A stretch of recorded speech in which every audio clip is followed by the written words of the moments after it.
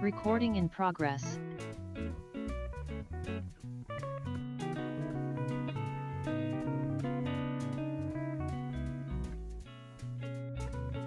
Glenn. Today is May 17th, 2023. This is the morning session of the Portland City Council. Good morning, Keelan. Please call the roll. Good morning, Mayor. Good morning, Commissioners. Ryan. Here. Gonzalez. Here. Mapps. Here. Rubio. Here. Wheeler. Here. We'll hear from legal counsel. Where is legal counsel? We've lost our legal counsel. Has anybody taken any legal classes? I've taken a few. Anybody else? Keelan, can you go ahead and read the rules of order and decorum? Do you have them handy?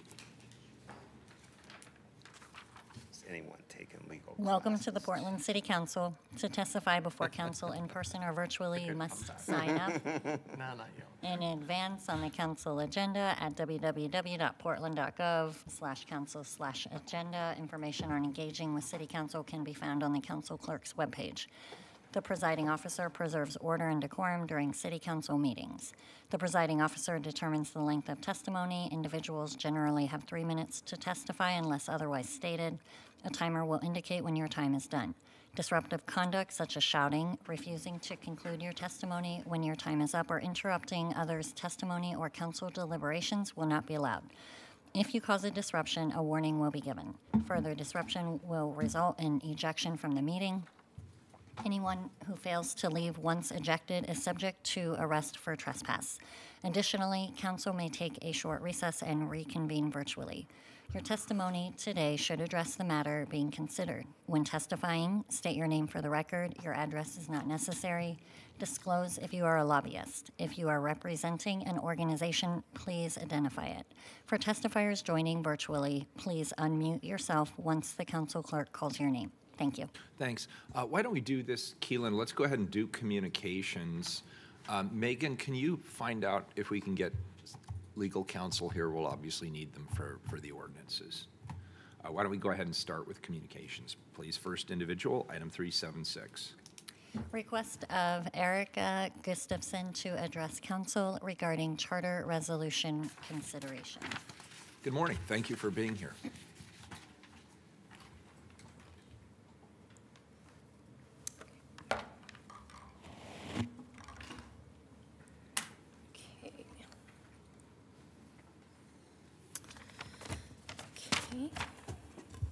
Morning, everybody. Um, My name is Erica Gustafson. I am here today to ask City Council to consider adopting a resolution regarding our new city charter. I, like many other Portlanders, welcome a change to our current form of government, but feel an important piece was left out of the original, left out of the charter in its newest form. While I applaud the idea of making elections more fair and accessible to all classes of Portlanders to run for city council, the thought of those who created these rules having a chance to exploit that in-depth knowledge to their own benefit would be appalling. I am asking you today to adopt a resolution that states no member of any of the various charter commissions be able to run for city council for at least two to four years of the full implementation. As we are reading updates and watching the various new charter commissions do their work, it is becoming extremely apparent that this was a massive undertaking, and those in charge of overseeing the transition are already finding flaws with regards to what we voted on versus pieces of the existing city charter that are not in alignment. Listening to public comments in these commission meetings, it is very obvious that the larger voting population has no idea what we actually just voted on when you get down to the details. And that's why it would be a huge benefit to anyone serving on either the original Charter Commission or any of these newer commissions to run for an open seat. They understand the nuances, intent, and any potential loopholes or ways to run that will give them a leg up on their competitors, which is not what the voters were looking for in trying to create a more equitable system of government representation. Temporarily holding them off from running gives everybody a chance to level set and figure out just how this new form of government is going to work for the people of Portland. We already know this form of voting has the potential to create incumbency based on the low threshold to be voted on, to be voted into office. As being in office gives instant name recognition, which often makes it harder to win a seat over the incumbent. In allowing members of any of the charter commissions to run for office right away, you're giving them a perpetual head start. Whereas the voters wanted to break down the barriers of participation and tear apart insider politics that favor the few rather than the many. Rather than allow one more head start or insider leg up to just a small group of people, one way to level the playing field is to have a two to four year provision that says if you've already been in charge of making the rules, you do not get a head start in the first phase of implementation of this new form of electing people. Does it sound fair to you that those who created the rules should now be able to benefit from them? Please consider the true spirit of what, what voters were looking for to have enacted and enshrined in our city code this request to keep our future city council elections truly fair and equitable for all who attempt to run for office. Thank you. Thank you. Commissioner Mapps. Uh, Thank you, Mr. Mayor. And Erica, I want to thank you for coming and testifying today. I understand your concerns. Um, I also want to um, at least express my understanding of how the rules work here. Um, I think in order to limit who could run for um, in order to implement your request, I think we'd have to send a proposal. We'd have to change the charter. Um, I'm looking around to folks who might know what's going on. And I don't think that we have an election, which means we'd have to send it to the voters. And I don't think that we can, there are enough elections left between today and the new form of government coming in to actually implement what you have. Uh, but there are smarter people in the room who might have a, a more nuanced understanding of uh, what's going on. Uh, but I think that's how the process works. Uh, and again, thanks for coming in. Thanks, Commissioner Mapps. Uh, Commissioner Ryan. Thanks, Mayor. Thank you, Eric. I appreciate your testimony. Uh, There was a meeting that took place shortly after they made their recommendations and, and when they were starting to go to the public to roll it out.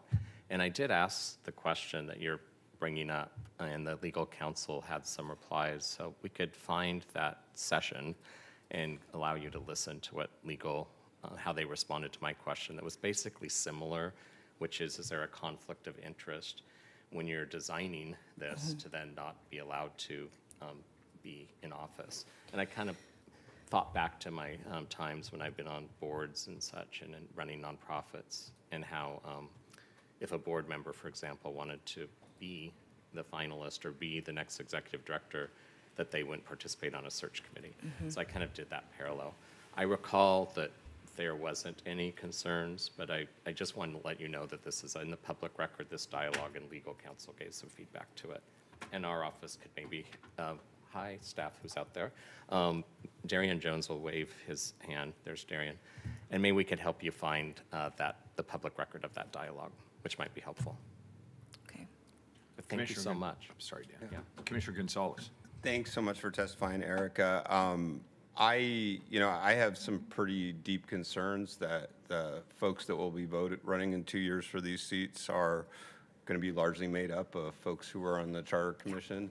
Uh, I'm concerned that it's going to breed a level of extremism that uh, voters have consistently rejected in city commissioner races in the last couple of cycles, uh, that that's what we're looking at in two years. Um, I'm not sure how many people on, up here will choose to run for reelection under the new form of government. uh, And uh, for all those reasons, I have legitimate concerns uh, about what's coming. Notwithstanding, I'm not sure what the solution is at this point. And so uh, I share the concerns about conflicts. I share the concerns about designing a process and then exploiting it for your own political career. And I'm concerned that while voters have consistently rejected extremism uh, in recent elections in the city of Portland, that is exactly what we're looking to get uh, come November of 2024. So uh, hoping for some solutions in that regard. I, I can't help but to jump on this landmine myself. Uh, Thank you. By the way, this is, this is, I think, the first time that somebody's come in to talk to the council about this, Uh, but it's certainly not the first time it's been raised. There's been a lot of questioning and speculation about, uh, as Commissioner Ryan said, is, is there a conflict of interest here, and are there steps that we should take to uh, abate some of that potential conflict? Here's, here's what I think the solution is, given what we know if somebody, it- there, there are probably constitutional reasons why we could not exclude somebody for participating in the uh, reform of government generally, even if they choose to run individually and specifically. So, I mean, that's a, that's a whole can of worms in and of itself. The question from my, from my perspective is transparency.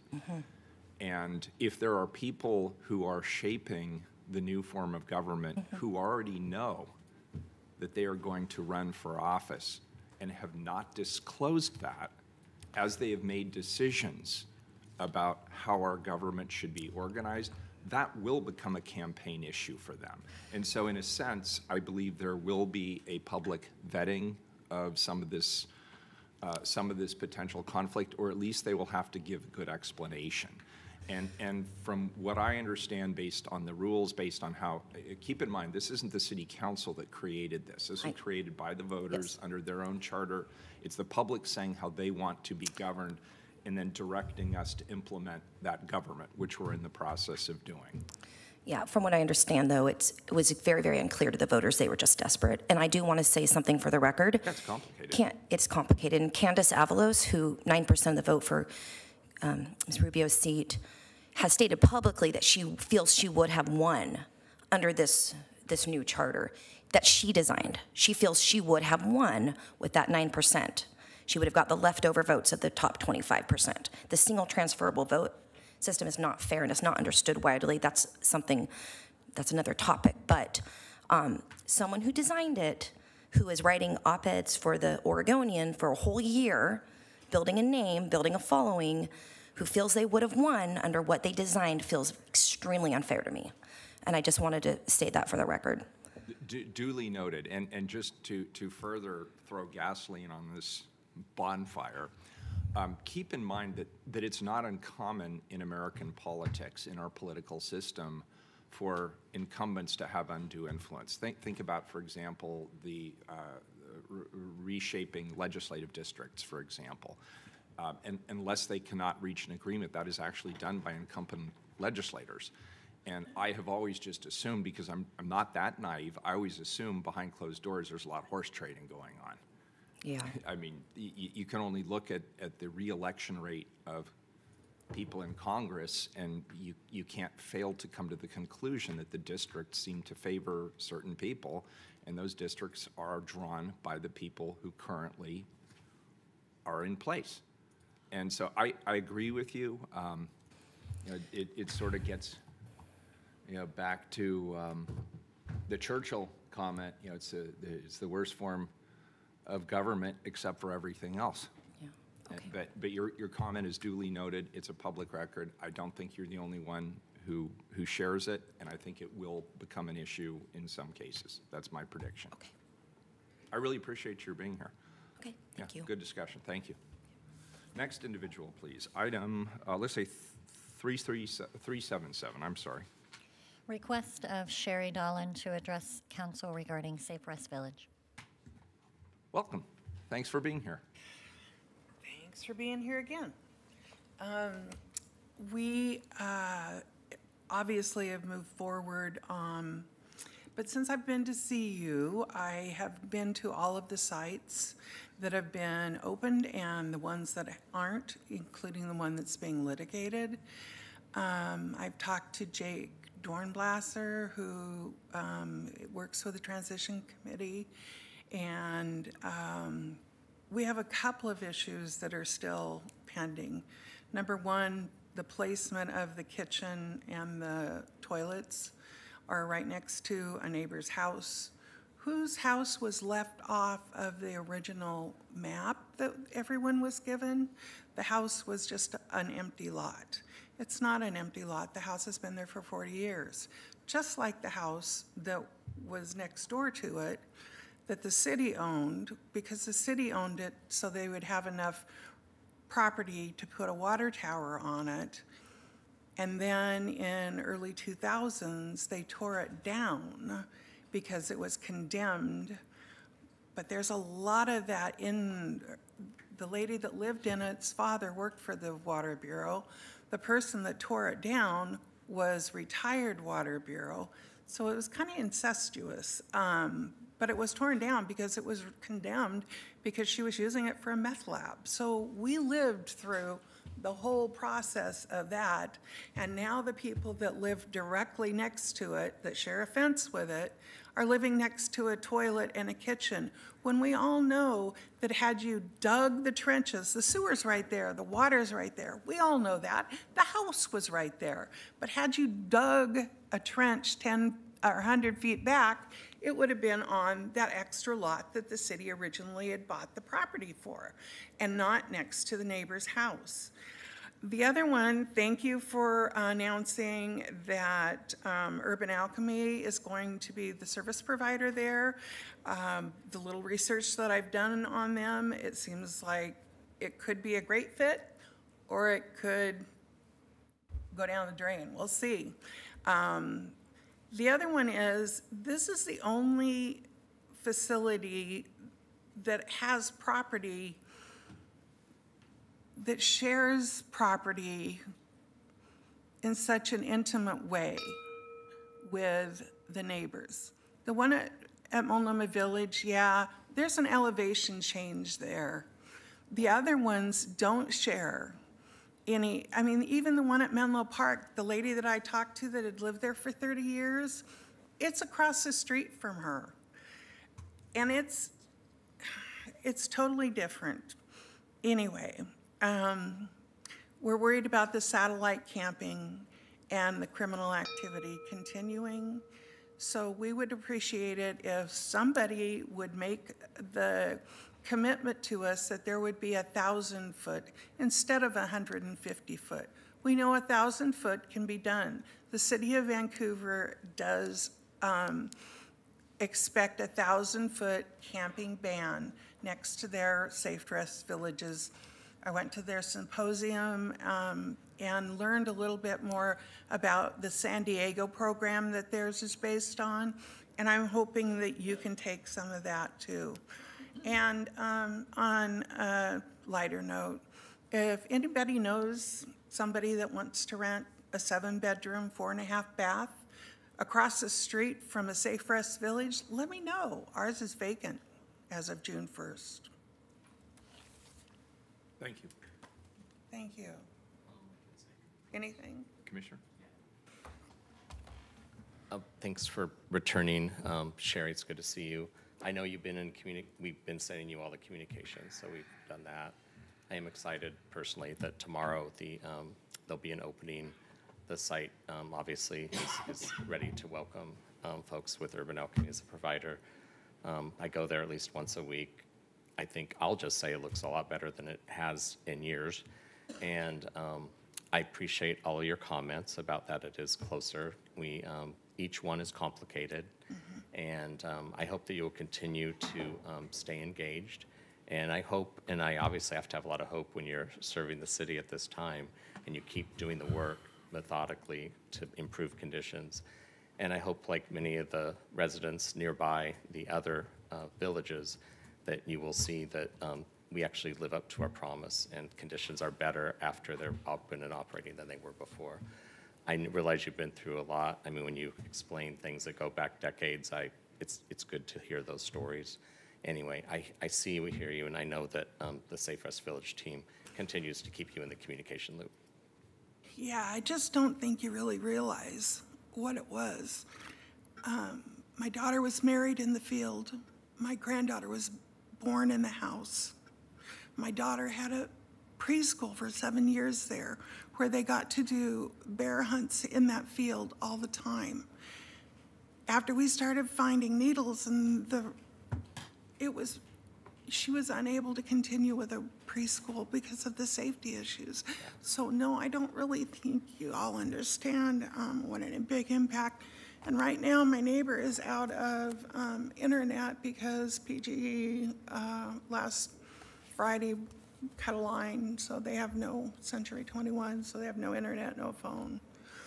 So no, I don't think you guys understand the depths that these decisions that you make, and those decisions that you make, you know, most of us remember that you, your tenure here isn't as long as our tenure as, as citizens.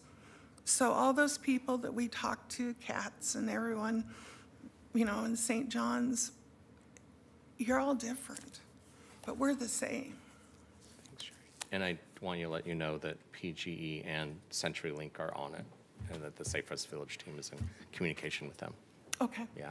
I- that- And Jake Dornblasser um, has really good people skills. It was, he was very kind and listened to us. Um, One of the things he said, though, was that he, that normally you don't talk to neighbors before you decide where to put things. And as I heard, you guys had talked to everybody, but Jake said that when it came to placing the kitchen and the toilets, we wouldn't have been considered. That's kind of worrisome.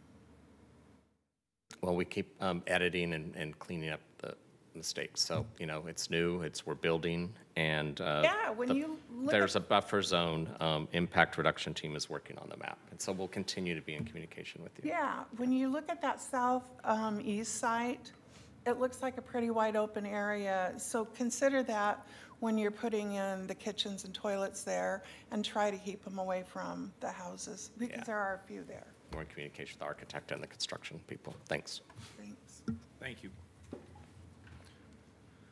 Uh, Next item, 278, it looks like they have canceled, but do you need to read it? Yeah, I'll read it really quick. Uh, Request of Susan Bladholm to address council regarding FY 2023-24 budget. Thank you. 379, please, next individual. Request of Bob Savage to address council regarding effective date of banning tents in relation to Safe Rest Villages. I believe Bob was planning to join us online, but I don't see them. They're not here? Let No. me see who's under the attendees. Bob, are you out there under a different name? Okay, I don't see them either. All right, good. Uh, Next item, 380, please. Request of Chris Reed to address council regarding Southwest Capitol Highway Rose Lane project update. Good morning, Chris. How are you today? Good, how are you? My name's Chris Reed. I am one of the owners and also manage 52% of the commercial property in the Hillsdale Town Center. I come today on behalf of Hillsdale business owners and residents to give you an update on the Capitol Highway Rose Lane project. When the project was originally presented to us, we feared the lane would detour customers from crossing over the, to enter the Southside Hillsdale Shopping Center. This is exactly what has happened. The Southside Shopping Center has 18 businesses, 15 of them, 83%, are small locally owned shops. 33% of those report a drop in sales since the lane was installed, with a decline as much as 18%. With TriMet's recently re- announced service changes reduction uh, route- of routes in southwest Portland, bus transit is far less accessible. Further, few people are riding buses due to the southwest steep terrain and the lack of safe, family-friendly bicycle infrastructure. Southwest Portland is becoming a more car-dependent with no reas- reasonable alternatives. It makes no sense to constrain key transportation arterial for a small benefit of bus ridership. Our original concerns regarding the project have come true, with several new issues arisen. We did not foresee the dangerous hazards that the Rose Lane has caused for both drivers and pedestrians. Increased greenhouse gases, which violates the a- key city goal, increased infrastructure, and in- increased frustration in drivers getting to and through Hillsdale, resulting in an increased accidents and road rage. Use of the Rose Lane as a raceway, making it dangerous for drivers, especially for pedestrians, who have an increased anxiety about the safety of crossing Capitol Highway, and a greater negative impact on the Hillsdale businesses than anticipated. PBOT's goal of the lane was to shave two minutes off of the travel time through Hillsdale during peak traffic times. What has happened instead is that by restricting automobile traffic in one lane, traffic is backing up so far that the buses are delayed getting into their dedicated lane, and far more time in the lane is is spent into the, by, by more time, takes more longer to get into the lane um, than the lane is supposed to be savings, saving their time. The goal of the Hillsdale Rose Lane is failing. The eastbound Rose Lane Hillsdale eastbound Rose Lane through Hillsdale is absolutely devastating our local businesses. The westbound lane is causing cars to divert from Hillsdale completely, resulting in lost revenue opportunities and causing disruption, um, increase in residential traffic. The project is causing more harm than good, negatively impacting the Hillsdale community. We respectfully request that council reconsider the value of the, of the lane. We unequivocally ask you to please remove the lane as quickly as possible. Please save our businesses and stop the negative impact in Hillsdale and residential streets and community. Thank you. Commissioner Mapps? Sure. Uh, Chris, thank you for uh, testifying today. Um, I am well aware of your concerns around uh, the Rose Lanes in, in this neighborhood. I've gone out and talked to neighbors and done a site visit, and I've talked to my bureau around it. Um, and I've asked the Bureau to implement some changes that um, we're hoping will relieve congestion. So, for example, we have gone in and basically tuned the traffic signals, which we're hoping, and I believe there's some evidence that it's already beginning to reduce um, some of the traffic congestion there. We'll also go in and do some striping on the roads to um, clarify when and where um, you can turn. Um, So we are watching those, we are implementing, we've implemented um, the light tuning project. We will be doing more striping, and I continue to evaluate this project. Um, I know I owe you guys an update, and what I will promise you is um, by, within a week, my, within a week, I will have um, Shannon, who's my transportation person on my staff, reach out to you and other interested parties to give you a sense of where we are with our evaluation and what's likely to come next. All right, Thank you. I appreciate that. Thank you so much. Thank you. And, and Commissioner, uh, first of all, thank you for being uh, this engaged in this at a personal level. I actually really appreciate that. And I've, I've always had sort of a general question, and- and Yeah. I don't want to put you on the spot because it's not really a question to you as much as it is PBOT. But there, there was a lot of discussion about this before it was put in. And there were a lot of concerns that were expressed by the people in the immediate vicinity, yourself included. Indeed. And PBOT made certain representations about what the goals of the project were. I would assume they have a process to go back and evaluate whether or not those goals are in fact being achieved. And I would also assume that if the goals are not being achieved or it's not working the way PBOT had hoped and expected, based on information they had at that time, that they would revise it. Is, is that a fair statement or do we know? Um, I can't I speak could to. get that from the director. I can't speak to the past, but I can give you a sense of how, how I try to uh, manage the bureaus in my portfolio. Um, if we implement a change and it's not achieving the goals that we want, and indeed is doing um, maybe harm in the neighborhood, I'm not um, afraid to uh, change course. Um, if you're doing the public's work, you're going to make some mistakes sometimes as you implement stuff. Um, the important thing is to lean forward, try to literally build a better city, uh, and, and where you fail at, fail at that, recognize that, and adjust. Uh, you might have noticed me do that with Trash for Peace, where I think we had a great project working with the houselessness around um, um, environmental protections, but it just didn't work out the way we had hoped. Uh, and I would say the Rose Lane, the Rose Lanes in this particular neighborhood kind of fall into a similar category where there are some important environmental goals. I'll remind you, uh, you know, um, you know, thanks to the leadership of everybody on this council and Commissioner Rubio in particular, we're trying to cut carbon emissions in this town by about 40% in the next seven years or so. That's a very heavy lift. It really kind of requires us to reimagine how we organize our lives. Um, we've been sort of investing in that, um, into that goal over time. Um, at the same time, it requires a lot of adjustments, and uh, there are going to be some situations where the investments that we make or the things we try just do not yield the results that we want. Um, and it is true. I've been out. Uh, you can see uh, with these particular lanes, there is um, some congestion, especially as you go up the hill, and it is a little bit, or it is confusing in terms of how you um, actually pull into the in, into uh, some of these shops along the road.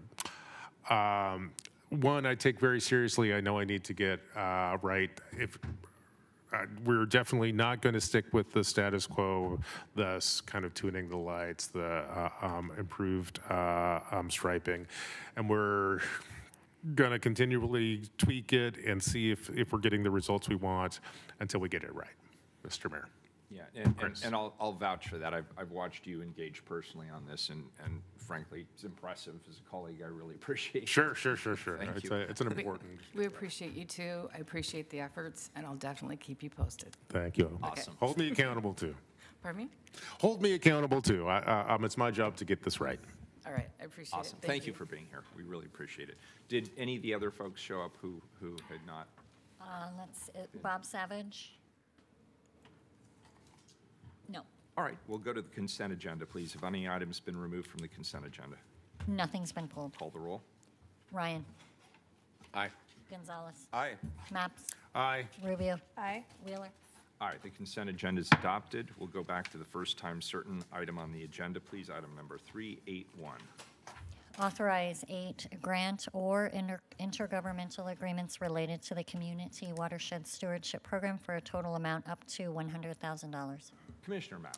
Uh, Thank you, Mr. Mayor. Colleagues, this item comes to us from the Bureau of Environmental Services.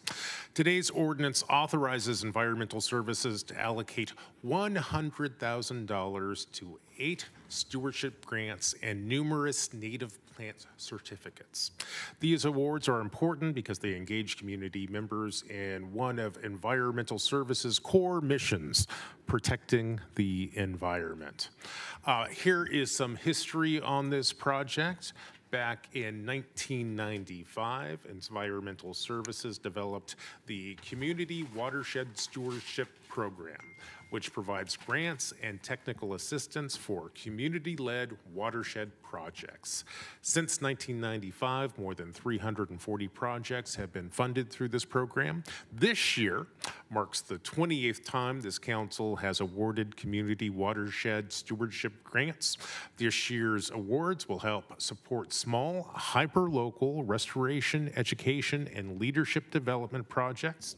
These projects include native, or planting native uh, vegetation, teaching stewardship of natural areas, cleaning up litter near waterways, and educating Portlanders about their natural world and watershed health. Four of this year's awardees are new to the program. Three of these serve uh, refugees from Eastern African nations, Slavic nations, and the Middle East. One serves black youth. Another group is returning to teach East Portland youth watershed science in a culturally uh, appropriate setting. And six projects involve environmental education and stewardship practices with hundreds of elementary and high school students. Today we have uh, three, I think, uh, uh, speakers who will tell us more about this ordinance. We have Daryl Houtman and Kathy Dang, uh, lead staff from Environmental Services Community Watershed Stewardship Program. Uh, I think online we have Professor Judy Blue Horse Skelton with PSU's Indigenous Nations Studies Department. And we have Bear Cunningham Goodell, a PSU student and BES program intern. Uh, I want to thank everyone for being here today, and I will turn the presentation over to our invited speakers. Good morning, everyone. I'm Kathy Dang with the QUISP team here today. Um, Thank you, Commissioner Mapps, for bringing this forward, and thank you, Mayor Wheeler and City Council members for having us here today. It's good to be here, and we're excited to share um, some great news about our upcoming grantees for the next fiscal year. Uh, Next slide, please. Each year, we come to council to request authorization for funds for QUISP grants, our Community Watershed Stewardship Program.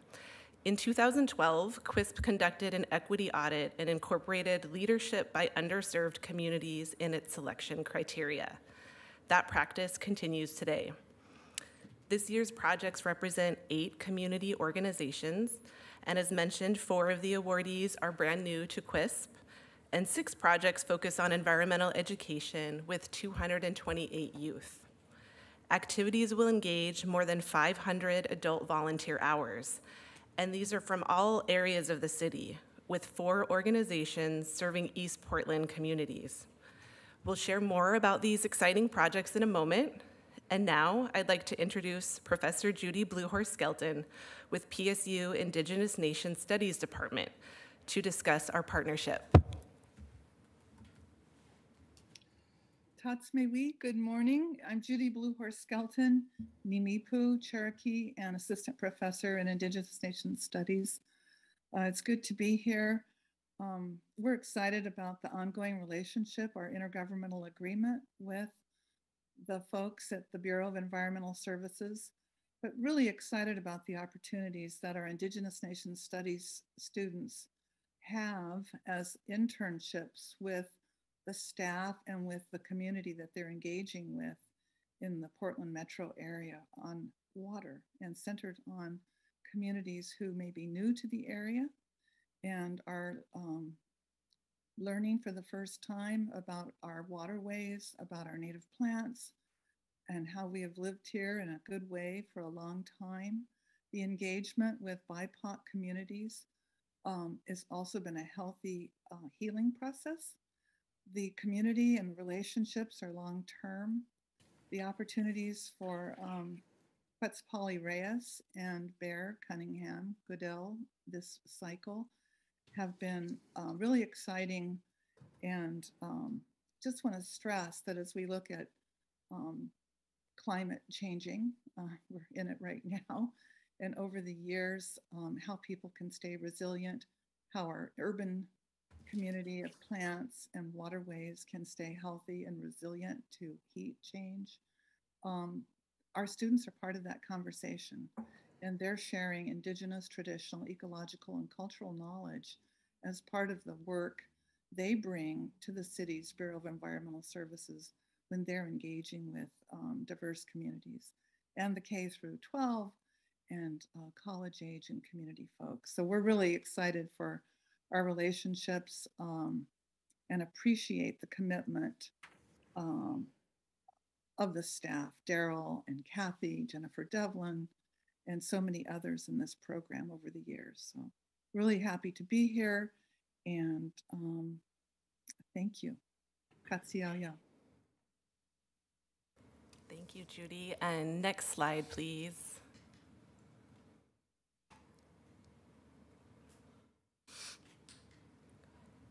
Advance one more. Okay. Advance one more. Thank you.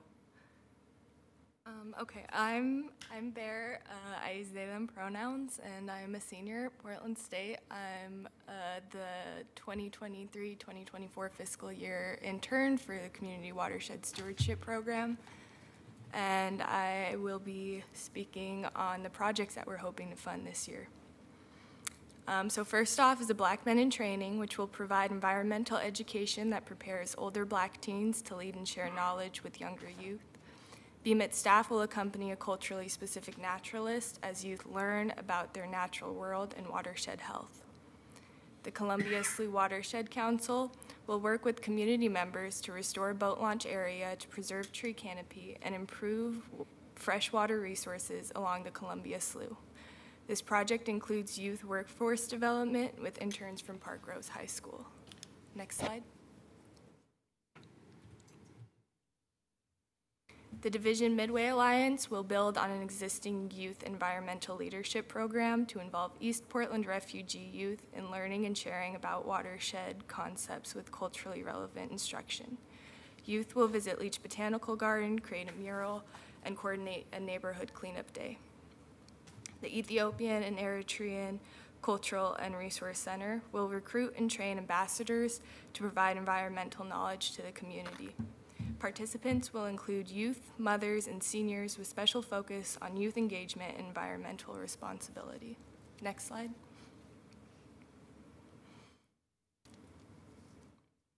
The Lower Columbia Estuary Partnership will provide the connecting students with science curriculum to elementary schools. Environmental educators and school teachers will work together to deliver local ecology lessons in class, followed by field trip and hands-on restoration project in Forest Park. Portland Refugee Support Group will educate refugee youth about their new environment, offer tools for environmental responsibility, and share this knowledge with their communities.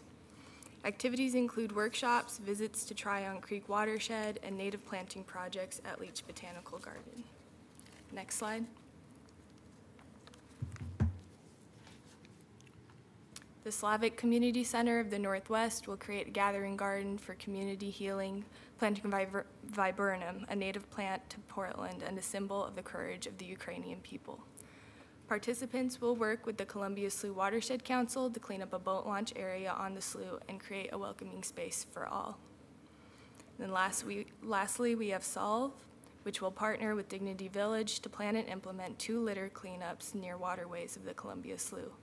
Dignity Village will help communicate with people living in the area about the events and provide outreach support and services during events. This concludes our presentation. We would like to thank you again for this opportunity. This time, we'd like to turn it over to comments or questions from Commissioner Mapps or the rest of council. Uh, Mr. Mayor, uh, number one, I want to thank our panelists for the presentation. I want to uh, share with everyone, you can hear my voice, how excited I am about this program. I'll tell you, uh, um, this is just a really smart and efficient way to get the community involved in our core mission of protecting the environment. I'll also point out that um, I know many of the uh, uh, um, programs that have received awards this year, as I'm sure a lot of you do.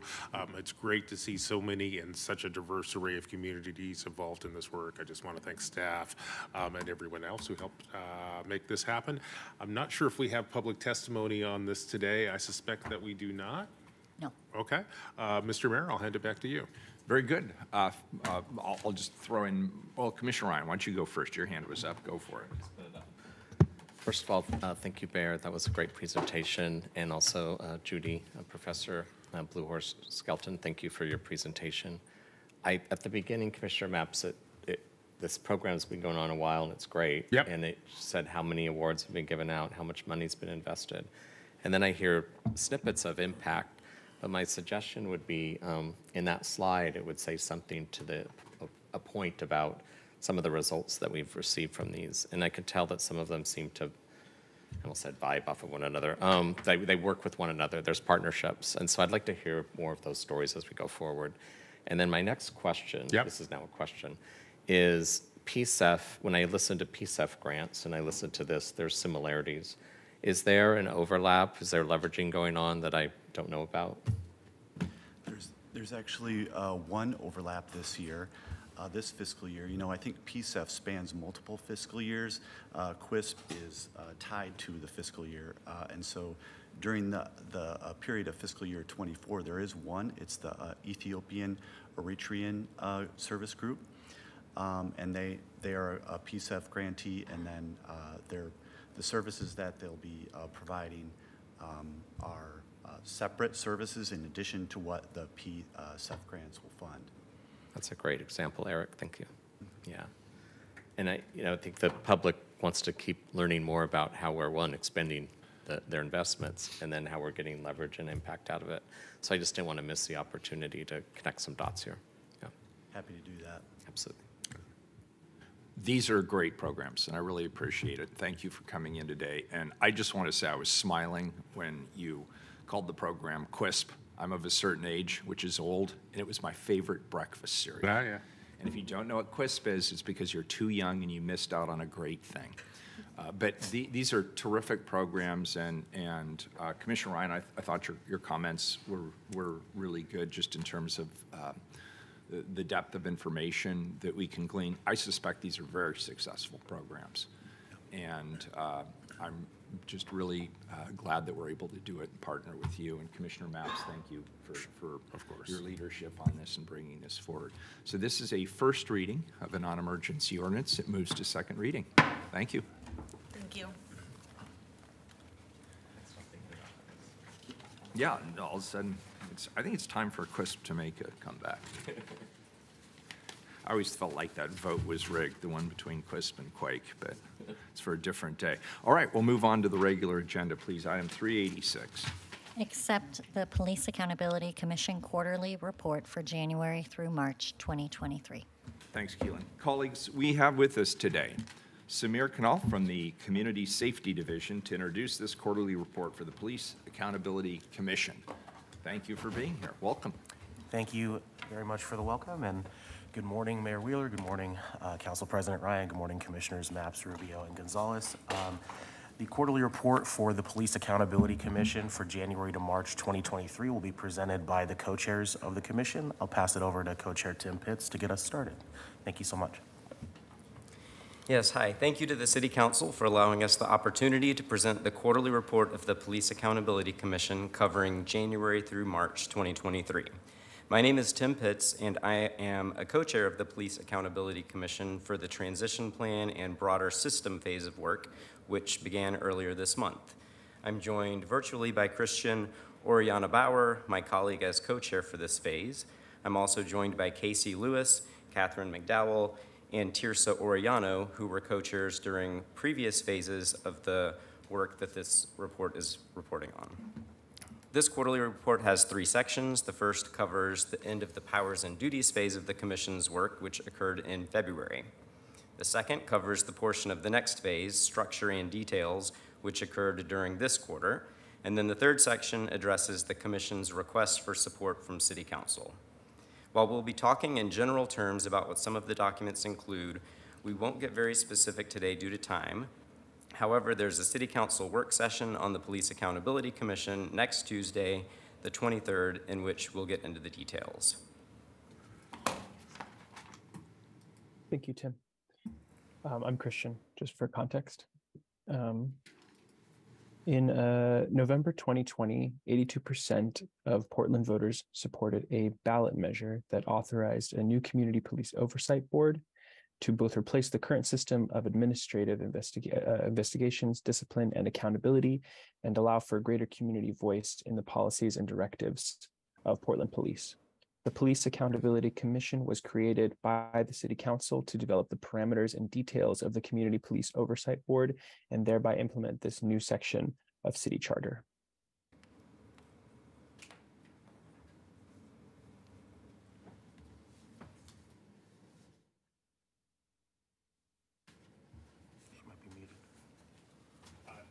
I think someone's speaking but is on mute, maybe? Is that what's Oh, yes. happening? That was me. Okay. Sorry about that. Um, the commission self-organized through March uh, 2022 from April through mid-October. The commission researched and heard from experts and affected parties, identifying barriers and best practices to police accountability, as well as ideas from subject matter experts and other jurisdictions to consider implementing in the new uh, system in Portland.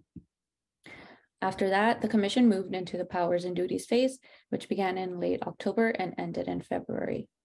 This phase worked on the functions of the new system, what it will do. Finally, the commission in February began the structure and details phase, which focused on the form the new system will take, how it's set up to do what it needs to do.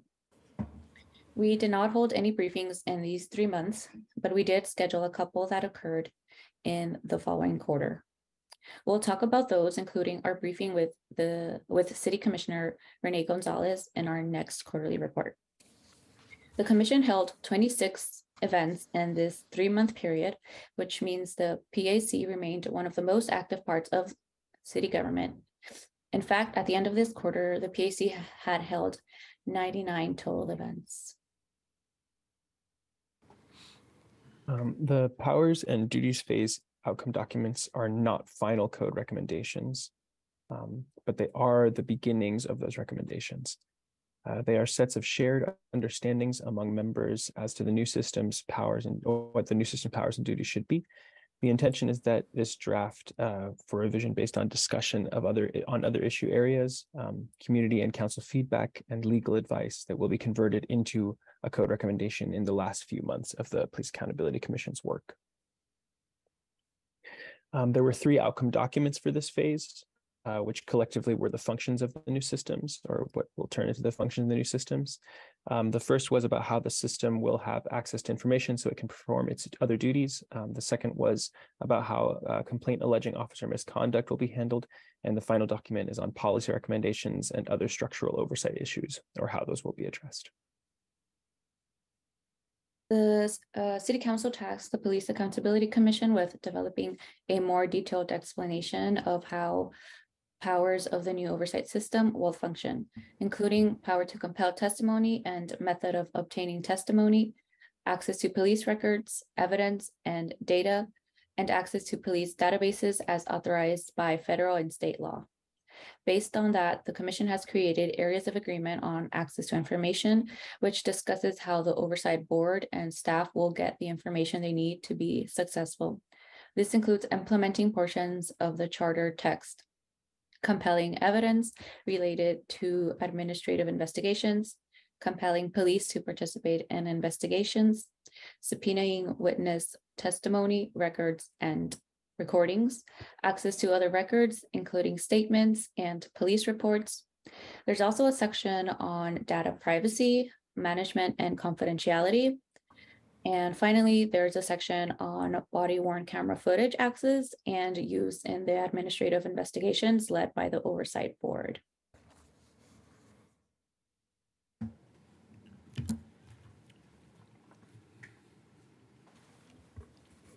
Sorry, I had myself muted. Apologies. Um, the second document was on officer accountability. What happens when there is a complaint saying an officer committed misconducts? Um, we are not going to go into a ton of detail here because we'll explain more next Tuesday. Uh, but in brief, the Police Accountability Commission developed a system where a person can file a complaint and the new oversight board does an intake interview. The complaint can be investigated, after which a panel of the oversight board can make findings as to whether or not what happened was misconduct. If it was, then corrective action can be issued in response. Um, both complaint both complainants and officers also have the right to appeal instead of going through the full process. A complaint can, uh, instead of going through the whole process, a complaint can request, a complainant can request to speak to the officer supervisor or mediate directly with the officer themselves. Uh, this system is designed to be more straightforward, comprehensive, and supportive of complainants. It also addresses situations where a person complaining that an officer did something wrong, or when a person uh, who files a complaint uh, that an officer didn't do something they were supposed to do, like neglect of duty, um, is addressed. Yeah.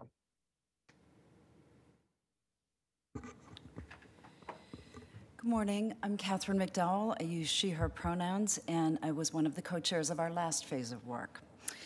In our work, we've identified a lot of barriers to police accountability in the current system, and in this phase, we work to build a system that responds to those barriers. Some key changes were one, adding more support people for everyone going through this process, including an advocate from beginning to end. That was a recommendation we directly heard from the community when we went through um, the briefings that we were asked to do by the council. Any potential misconduct that includes a community member would go through the same process, avoiding some of the confusion and back and forth investigations between different entities in the current system. Again, we heard from many um, folks about the complexity of the current system, work to try to integrate a single system going forward. Third, increase resources for services like mediation for advocates and more. And then fourth, and importantly, as envisioned by the charter, it will be community members, not police, who will decide if police committed misconduct.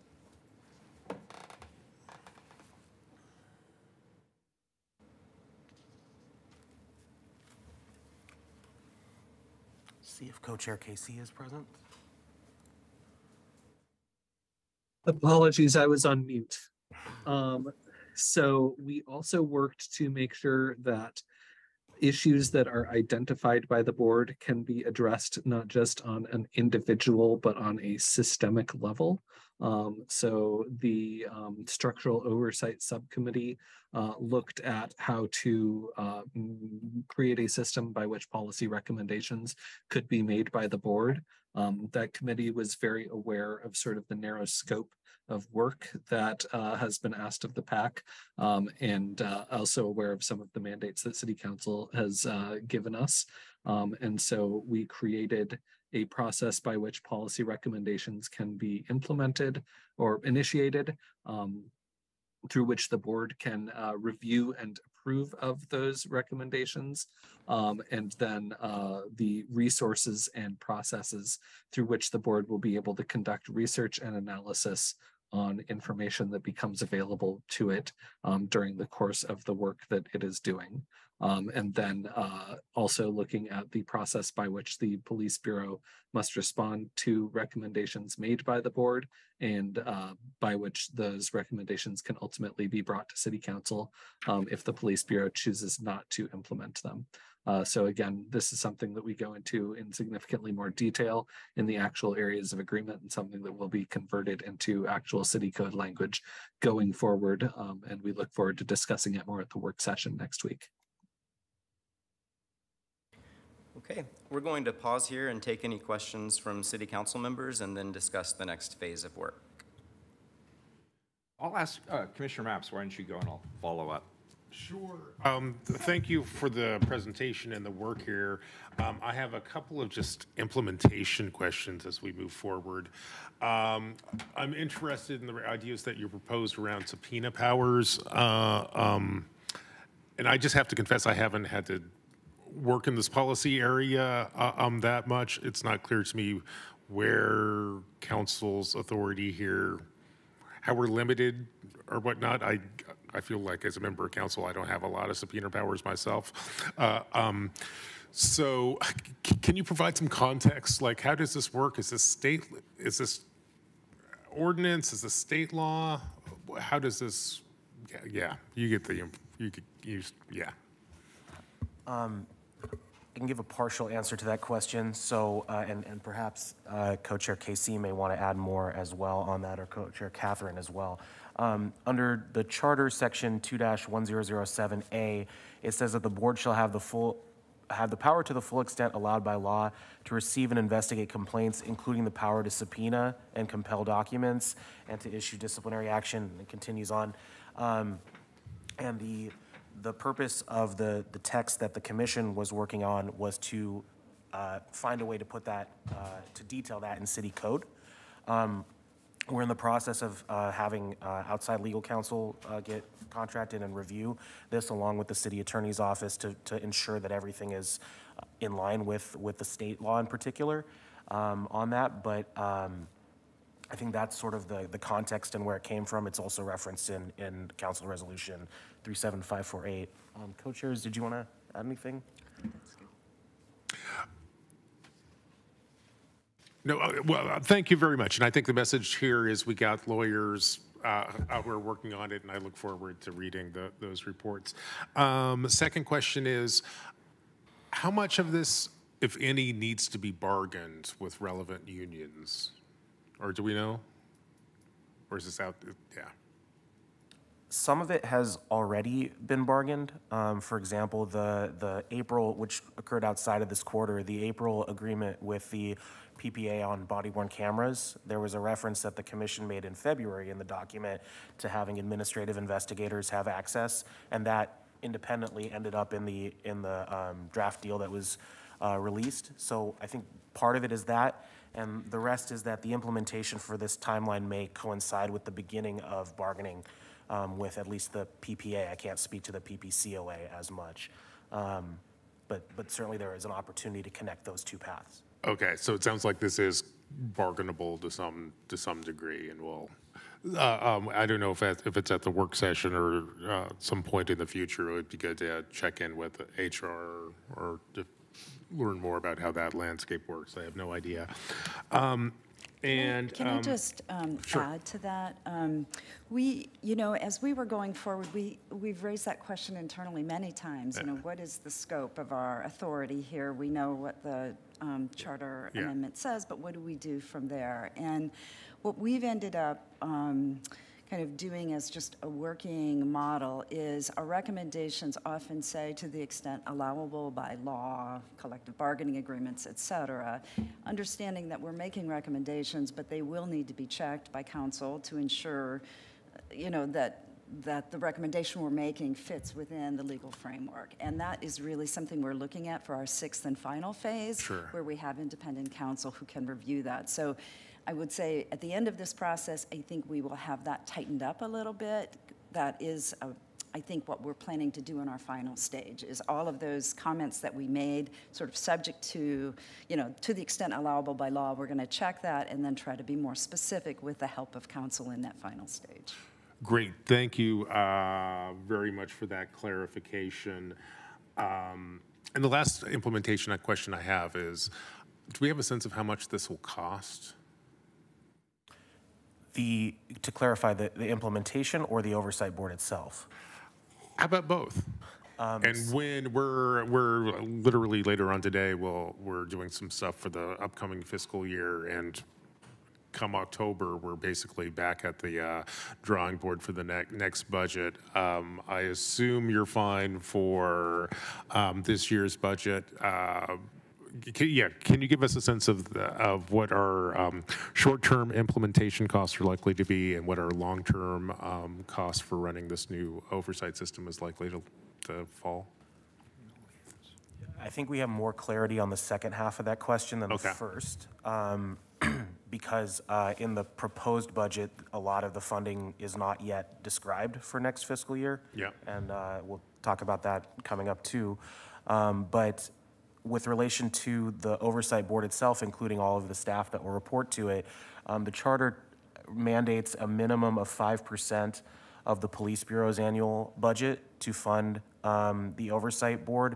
So the commission has been working on the working assumption of roughly a comparable level of police bureau funding to what currently exists, and at roughly $249 million, that means that, that the oversight board would have at minimum $12.45 million per year uh, for all of its activities.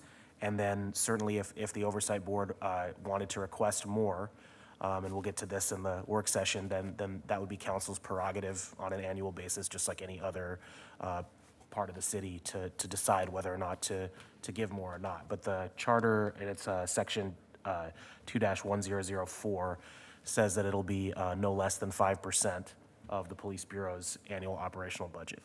So 12 million, that's kind of a lot of bodies. Have you thought about literally, like, where do these people, where are their desks going to be? Have we gotten that far? Uh, Yeah, that's outside of this quarter. It happened in April, um, so we'll definitely have a lot of it um, in um, the work session on Tuesday, if that's okay, but we have sort of a presentation on that planned as well. And uh, maybe we'll get this, to this at the work session on Tuesday. So a $12 million ongoing budget. Uh, What, what, I can kind of do the math knowing my bureaus a little bit. Um, How many FTE would we imagine you buy for 12 million? So the commission has not explicitly come to a, a final number on that. Uh, They are, if I can s- clarify, be, they're being deferential to the oversight board in terms of determining their own staffing structure to some degree. But as a working assumption, I believe it was somewhere, just in terms of average cost, divided somewhere in the 50 to 56 FTE range. Um, If a proportional percentage went to that, that doesn't, it would go down from that number. That would be a maximum because there's other uh, obligations that the current oversight system has. There's office expenditures, et cetera. So not all of the budget would go towards personnel is the anticipation. But that's a working assumption. It's in no way a recommendation or a, um, or a hard and fast commitment. Sure. um, And uh, um, do we know, are, are these folks, I'm not quite sure what, what this 50 to 56 people will, will be doing. Do we expect them to be represented, like in a union, or do you think they're going to fall outside of a union? I don't believe that that's been discussed in any way at the commission to date. All right. Uh, Certainly, co- colleagues, as we implement this, we should think about um, the space implications of this, the um, ongoing um, fiscal implications. Um, I certainly have questions about uh, how subpoena law works, and um, and there are a bunch of labor issues, uh, um, that, especially as we're standing up a, a substantial new branch of government that um, we should certainly think about because uh, essentially the entire city is unionized at this point. So this is our new reality. Uh, Thank you, Mr. Mayor. I have no more questions. I have, I have a couple. Um, Actually, I have a caution. I don't have, I don't have questions as much as I have cautions. I mean, the- the conversation we just had is, is merely one. my concern is this, and I- I understand the public has spoken. More than eight out of 10 voters in our city said this is what they wanted.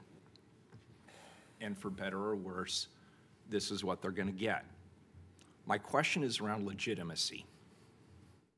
When it comes to police oversight, we have seen specific examples where police oversight boards have exploded in spectacular style due to a loss of legitimacy.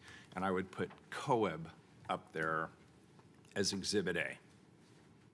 My concern is that if this is not seen as a balanced, fair approach to oversight and accountability, it will quickly be seen by the public and by our employees as an illegitimate process.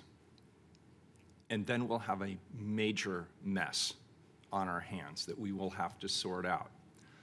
Because, as Commissioner Mapps has just suggested, it's even more complicated than that because we are going to be leaving one trapeze behind while we jump for the new trapeze. IPR will be gone.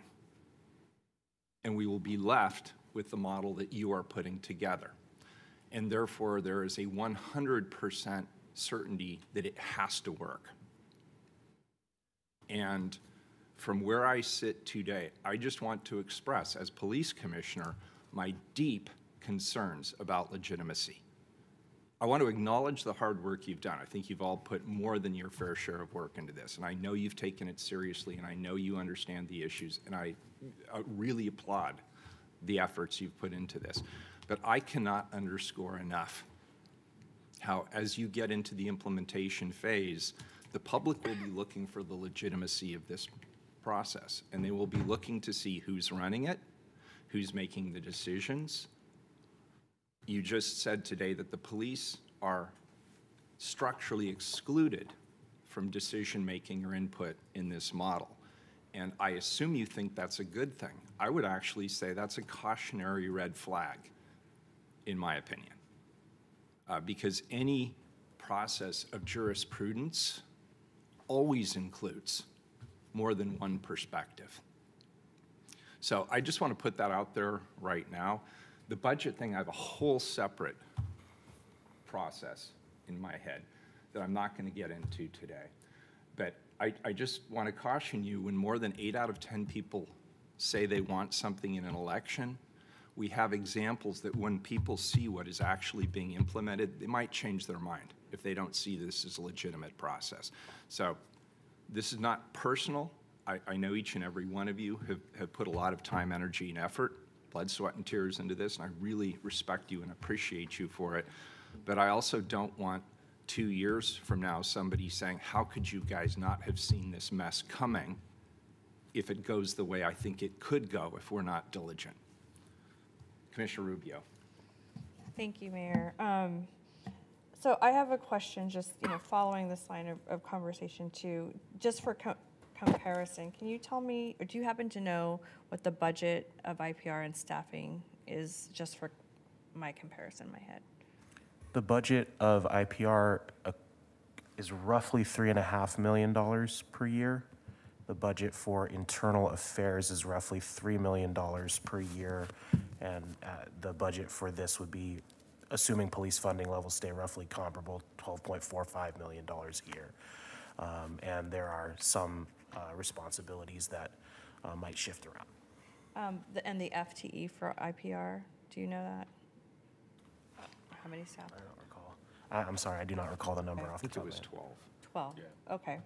Um, My other question is about the oversight board, and I understand this might be discussed also at the work session, but can you talk to me a little bit about what you're thinking and that appointment, and especially, um, yeah, in light of what the mayor just said, what does that representation and composition look like? Yeah, so that is something that um, was, was resolved by the commission in April. And so it's uh, not in this report because it just goes through March. And so we'll definitely go there. There is a, uh, definitely some, some restriction, and this goes to, to the mayor's question as well. Um, It wasn't the PAC that actually decided that it would be um, community members exclusively making the determinations. That's in the charter language and uh, Resolution 37548.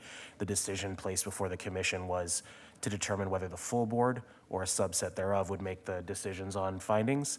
And the charter says that the, uh, the board members cannot include police. So that, that was the options given to the, the commission. Um, Similarly, there are uh, restrictions in the charter about uh, who can be on a member of the board, one of which is uh, that police, current police, former police, and the family members of current police are not eligible for service. That is in the, uh, the charter text.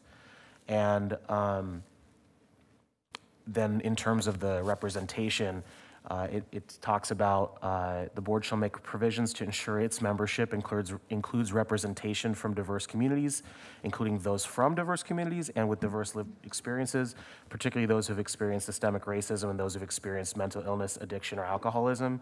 Council asked to put uh, that the commission set requirements for the initial appointments um, as well. And the commission developed a, a broader uh, list of, of sort of the makeup desire to ensure balance and also to ensure that um, this is something that can represent not merely the 82% of voters who voted for it, but 100% of Portlanders um, over, over the course of its lifespan.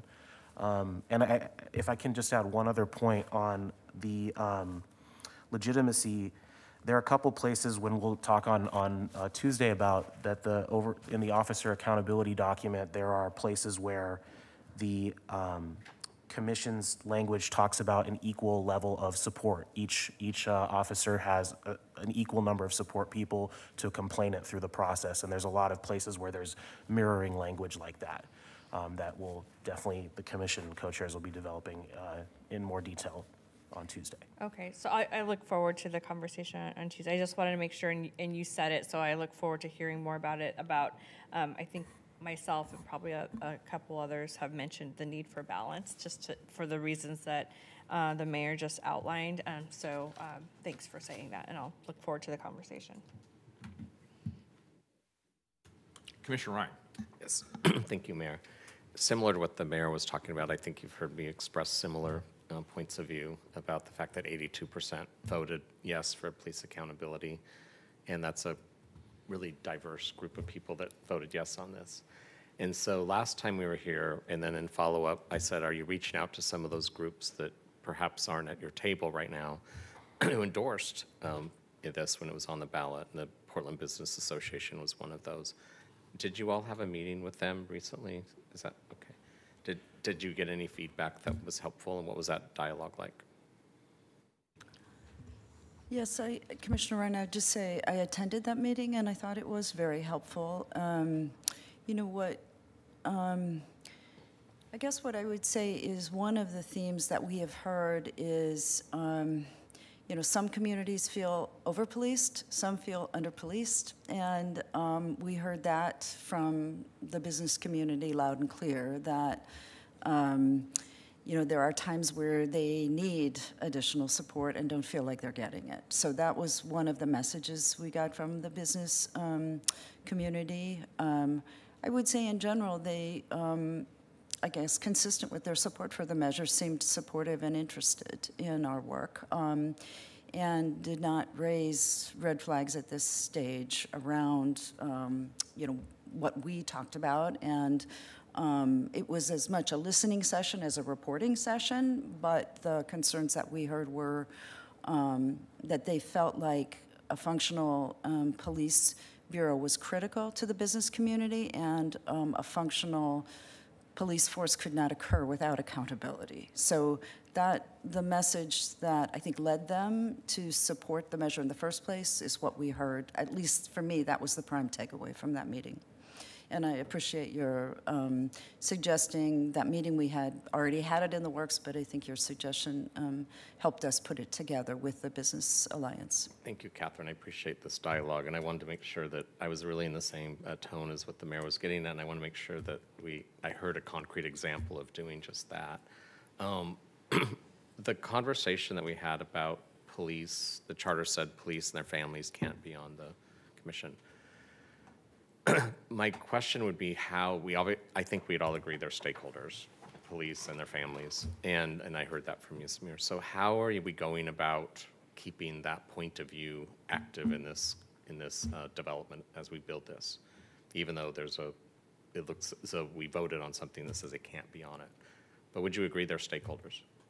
Absolutely, and we have conferred with them and look forward to conferring with them further. Um, You know, the, the tricky, um, I, I just, my, when the mayor was talking about legitimacy and concerns about specific aspects of our work, I mean, my, I guess my, um, what was in my mind is something that uh, Commissioner Gonzalez said to us when we um, chatted with him I think it was last month, around fidelity to the measure. And so we're trying to balance all this. I mean, the measure says what it says about really wanting a clearly independent board and setting aside a certain budget amount. We have really, in our work, we're, we're really looking at those as givens. We don't have the discretion to rewrite this measure. Our work is to implement the measure um, in the best way and the wisest way we can according to its terms. And its terms dictate independence um, from the police bureau, and its terms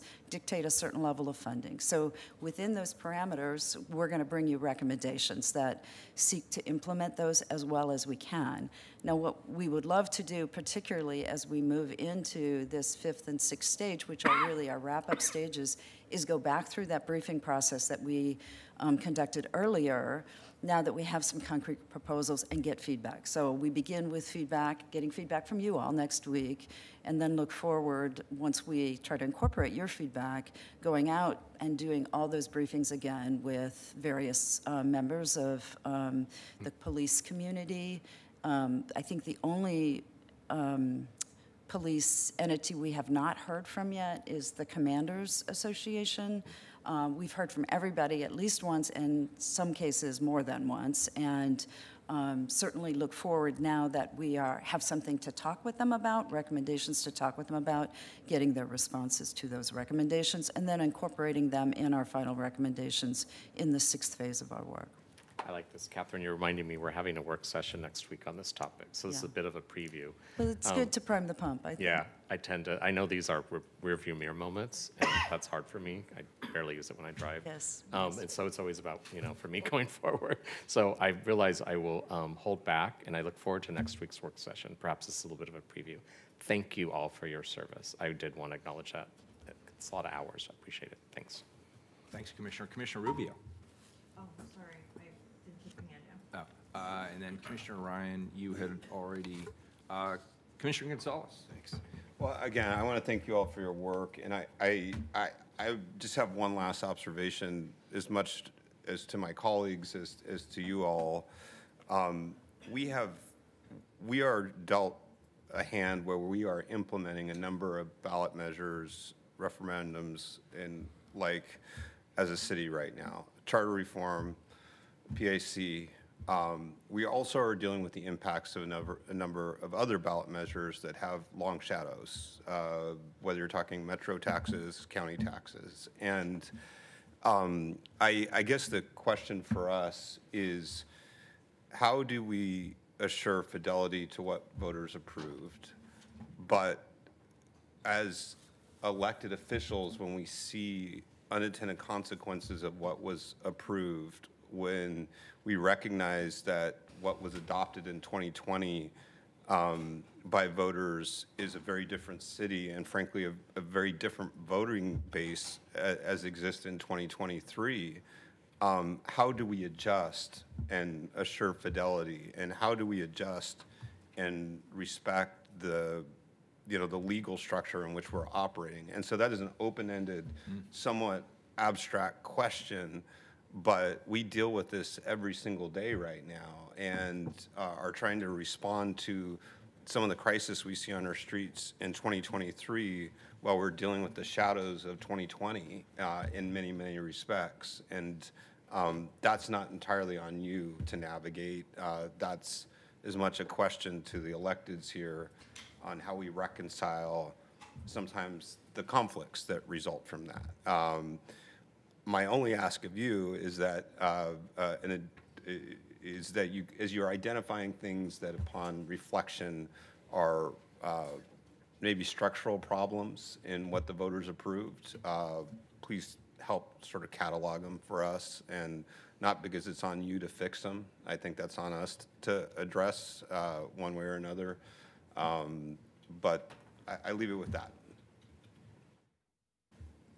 Well, there, there's, there's a self-corrective mechanism here too, which is if what ultimately gets rolled out doesn't work or doesn't comport with what people believe they supported, it will be repealed. I mean, it, it, there's nothing the city is more concerned about right now than public safety. Homelessness is obviously our biggest social challenge, but public safety is front and center right now. And if people feel that we are messing with public safety or we are in any way weakening it or making it less effective, they will react. And so for, for me, this is a really important project that you're working on. It has to be executed perfectly. And so I'm raising my red flags now, not to criticize your work. I agree with what you said, that, that there has to be fidelity to what the voters support. I agree, it's, and it's a tough ask. Well, and I also think that um, police accountability is a critical aspect of public safety. And that is, I think that's the premise of 82% of people voting for a more effective accountability I, system. I agree with you, but then you have to ask the follow-up question. What is accountability? And how does accountability work? And is the process balanced? And is it fair? And I'm even just thinking of logistical problems. I don't know how we're going to solve them. If, if this independent body, separate from us, separate from the police bureau, separate from any government entity, has the ability to demand any document, the ability to subpoena any of our public employees with no check and balance, that does not feel fair. That does not feel balanced. It feels, as an employer, extremely concerning, to be perfectly honest. And I don't even know what the DA thinks about this. If the DA is trying to conduct an investigation behind closed doors and collect information, documents, interview people, and then all of a sudden you have this separate group of people saying, no, we're going to do our own thing, and we're going to interview people, and we're going to hold public meetings, and we're going to collect documents, which then I presume become public record. I don't even know how that works. Um, But, you know, I, I, I guess the bottom line for me is rather than just sitting here and raising potential concerns and objections, help me help you. Let me know what you need from us, what we can, and that would be helpful if it was part of the work session, is we can reserve some of that time. What do you need from us? Because you are, you're doing a heavy lift here, and, and I think we all want it to be successful. So let, let us know how we can be of help.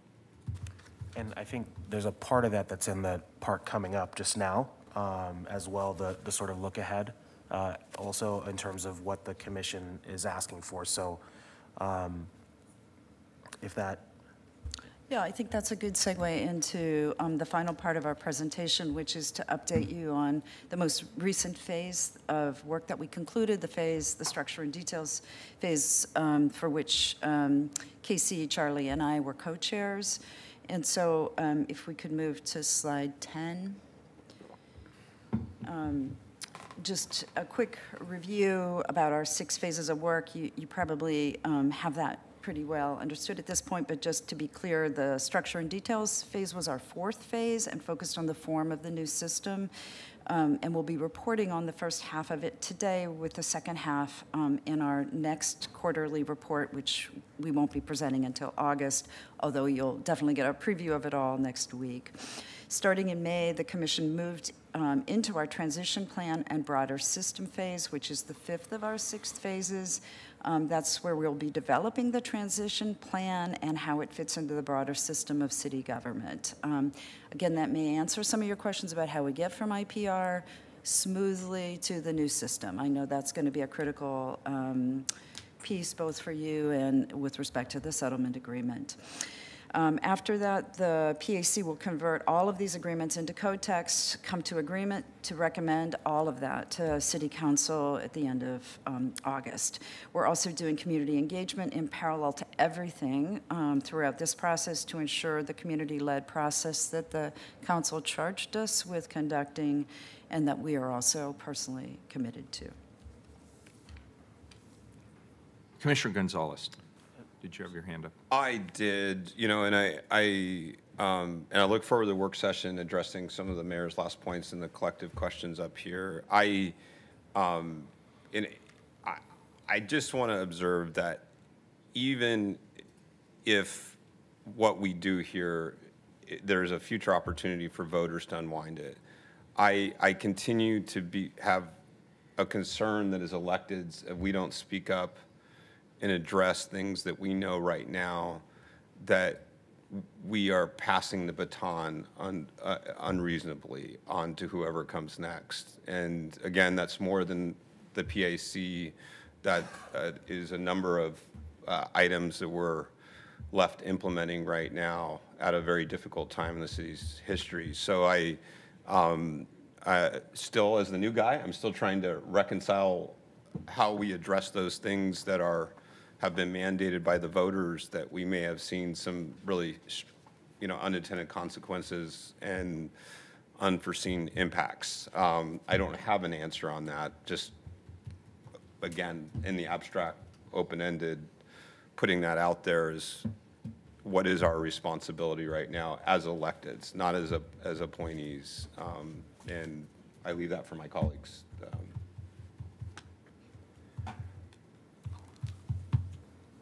Commissioner Mapps, sorry, didn't see your hand come up there. Oh, that's all right. I'm debating. I'm debating whether or not I want to raise this now because I know we also have some public testimony on, on this.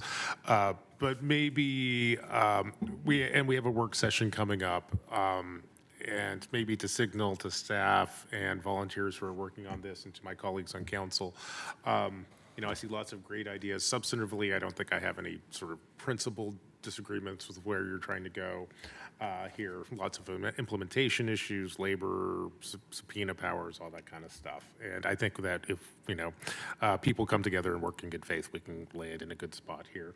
But a- a piece here that I just, I don't know how we, given where we are, I don't know how we fix, but I, I kind of agree with Commissioner Gonzalez. There are some, uh, um, maybe a couple of existential issues here that I think might require some council leadership or at least some discussion at the work session. Um, and for me, the one that really uh, sticks into my craw and concerns me is the, the budget on this. Uh, I'm setting the budget at, for this automatically at at least 5% of the police bureau, oh, police bureau's overall budget. Um, that's just an, an extraordinary budgeting practice, unlike anything I've seen in the city myself. You know, I would love to pass a rule that says the city spends 5% of our capital budget on, you know, asset management or something. Uh, but even some uh, common sense, like pretty uncontroversial practice like that is not how we do things. I recognize that, um, you know, the 5% at least was baked into the ordinance that went to voters. Um, I, to due diligence, I feel as a representative of the people, at least uh, a guy who um, is trying to to uh, um, manage the public interest really well. I need to let my constituents know that um, this law that you pass, especially on the uh, budget side, um, raises a lot of concerns, and I think might actually be part of the discussion that we need to have as we move towards implementation. You know. Um, yeah, it's not how we do anything else. Uh, I, I'm also keenly aware that um, the city of Portland is going to be under extraordinary financial pressures in the in the coming years. Um, 50 employees is a lot, you know, uh, extraordinarily large compared to where we have been historically. Um, seems to be independent of the amount of actual misconduct or even just business the police do. do. Um, th- this piece causes me a lot of concerns, and I know the the commission has no. You were handed the mandate that you were handed, and you were, you know, the voters passed this by a lot, but. Um, I, I, I- think I'm probably speaking to my colleagues here where I, I think that we should have some discussion ar- around that, even if it just means that you know, 5% will go here. It certainly has implications for the general fund as we move forward, and we have to maybe set some policies to adjust for that. Thank you. Keelan, how many people do we have signed up? We have one person. signed up. Perfect, let's hear from him. Three Mark minutes, please. Poris. There, Hi, Mark. Yeah, good morning. Can you hear me? Yep. Can you identify Okay. yourself for the record, please? Yep. Good morning, Mayor and Commissioners. My name is Mark Poris. I use he, him pronouns, and I'm with the group Portland Cop Watch. Uh, we continue to advocate for more opportunities for public input into city policymaking, and we are truly appreciative of the opportunity to testify on this report today. Uh, when we testified in favor of City Council adjusting the PAC's deadline from June 9th to August 31st, we said a few things. Uh, first, we thanked Council for doing so. Second, we noted that the settlement agreement, as approved by Judge Simon, allowed the date to be as late as October 29th. Uh, And third, we asked for confirmation that moving the deadline once again to meet that later date would not require DOJ intervention, and it was stated on the record that it would not. Um, so we would like to remind you that if the Police Accountability Commission needs more time to finish their work, that council should extend again to October 29th. Um, the commission has had one empty seat since early March that city council hasn't yet filled. Uh, Portland Cop Watch has urged council over and over to let the PAC set its quorum based on the number of seated members. Uh, they should have been able to meet with only 10 members of the commission present these past several months. Uh, not only are they shorthanded, but the quorum is still 11. Uh, we're appreciative that the commission continues to hold community engagement events. Uh, one issue that continues to arise is that some folks attending these events don't have a good understanding that the PAC is not the new Police Accountability Board, uh, but rather it is the body that's developing the new investigatory, disciplinary, and oversight system for PPB. And the city could be doing a better job of disseminating that message.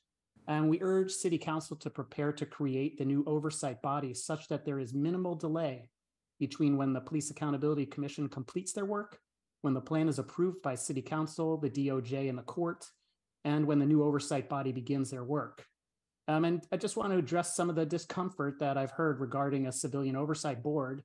Um, and I want to point out that when Chief Lovell and Deputy Chief Frome appeared before the Police Accountability Commission, uh, DC Frome plainly stated that he and Chief Lovell need to be removed from the discipline process in order to be able to speak freely. And also in the current system, uh, police have automatic access to representation from the start of the process. Uh, the Police Accountability Commission's proposal balances that for the community. Uh, thank you for the opportunity to speak. Thanks, Mark, appreciate it. Does that complete That public testimony? testimony. Thank you. Um, So we're going to see you again soon, so, uh, I, I- and I, I know we're not paying you particularly well for the service you're providing. Why don't we just uh, entertain a motion? So moved. Commissioner Ryan moves uh, the acceptance of the report. Second. Commissioner Rubio seconds. Any further discussion? Please call the roll. Ryan. Yes, thank you, all of you who uh, have been working so many hours, so many evenings. I really appreciate your devotion to our city. It's good to see you again, Catherine. I, I don't know how you do your other job, your full-time job. Anyway, it's really appreciated. I, I realized as we were having the dialogue that we do have a work session next week, and so I think that will be um, an awesome opportunity to go deeper on some of the topics. But the fact is, you, you're spending a lot of time, you're moving this along. I remember when there was a backlog, so Samir and the staff, um, thank you for your extra hours to, looks like we're caught up, right? Yeah, anyway, that wasn't the case about six months or nine months ago. So I wanted to acknowledge that. Anyway, I accept the report. Gonzalez. I vote aye. Mapps. Uh, Yeah, I want to thank the commission for their hard work. I want to thank staff and our invited uh, testimony today for today's presentation. Uh, I am glad to accept this report, and I look forward to our work session next week. Rubio. I just want to thank the commission uh, members, and I'm really glad that um, we had the extra time. Um, You're all so thoughtful and dedicated. This has been a long process, and um, we're almost there. And just uh, keep going, and really look forward to the work session where I know we'll we'll dig in more on these issues. And I know you're not fully ready to talk about them today, so I want to appreciate that you indulged a lot of the questions today, and we look forward to the work session. I vote aye. Wheeler.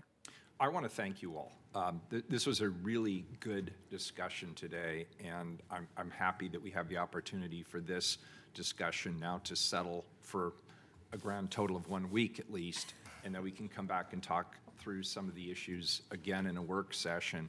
I- I want to thank you all personally for your commitment to this. Samir, you have done an outstanding job of leading this effort on behalf of the city, and I, I want to personally acknowledge your fantastic leadership on this. You've been very accessible, you've been very communicative, you've shared information that's been requested, and I, I just personally want to acknowledge that in public and thank you for your great work. I want to thank all members of the, the PAC because this is very complicated as, as uh, we get closer and closer to the very fine grained specifics of this, it's going to get more complicated. And I think we all know that, we acknowledge it. So I'm appreciative of the fact that we can have frank and open discussions about it, and everybody feels that all sides of this are being considered. And that's, to me, how we make good policy here. So I, I appreciate you indulging our myriads of questions, concerns, comments. Um, th- This is the good stuff of government, and I thank you for it. I vote aye, and the report is accepted. Thank you, and we'll see you next week. Thank you. Thank you, appreciate it. Uh, wait, before you guys leave, wait, we have, we have some young folks here with us. Where are you from? Oh. We have the Abernathy folks in the house. Thanks for being here. Wait, why they're here, there's, it's a good opportunity to say, you know what Portland voters did last night? They approved the Portland Children's Levy. And that's, yes, yay. So thank you for being Exhibit A to remind us that we always need to put our children first. Yeah, thank you for being here today. Thanks for visiting City Hall. Yeah. Take care. Thank you. Bye. Next item, please. Item number 387. It's an emergency ordinance. Pay settlement of Donovan Farley bodily injury lawsuit for $50,000 involving the Portland Police Bureau. Colleagues, this ordinance resolves a claim brought against the City of Portland in June of 2022. Deputy City Attorney Mark Rodriguez and Senior Claims Analyst Rose Radich are here to walk us through the ordinance, or at least I hope they're here online. Good morning. Thank you, Mr. Mayor and, and council members. Uh, my name is Mark Rodriguez and I'm the Deputy uh, City Attorney representing the city in the litigation of this matter. Settlement ordinance relates to a lawsuit that was filed in federal court as a result of a pro, a June 6, twenty twenty protest-related incident. In that incident, there was a protest that was declared an unlawful assembly. Uh, plaintiff was filming the Portland police officers making an arrest of a demonstrator when he had an interaction with a Portland police officer, resulting in multiple uses of force against them. Uh, plaintiff alleges he was working as a journalist at the protest, and the officer retaliated against him with unlawful force for doing his reporting. Um, plaintiff alleged that he suffered mental, physical, and economic harms, including mental anguish and anxiety, interfering with his ability to conduct his journalistic duties, in particular covering protest and law enforcement. The parties engaged in settlement discussions, including a judicial settlement conference mediated by a District of Oregon federal judge, and ultimately reached a resolution supported by the city's Risk Management Division, the Portland Police Bureau, and the City Attorney's Office. Settlement of this lawsuit will allow the city to avoid the expense of further litigation, including the cost of outside counsel for the individually named officer, the risk of an adverse jury verdict, and risk of paying plaintiff's attorney fees and costs if plaintiff prevailed on any of the federal claims. Uh, Thank you and happy to answer any questions. Thank you. Colleagues, any questions? Do we have public testimony on this item? We do, we have three people signed up. Uh, First up is Mark Poris.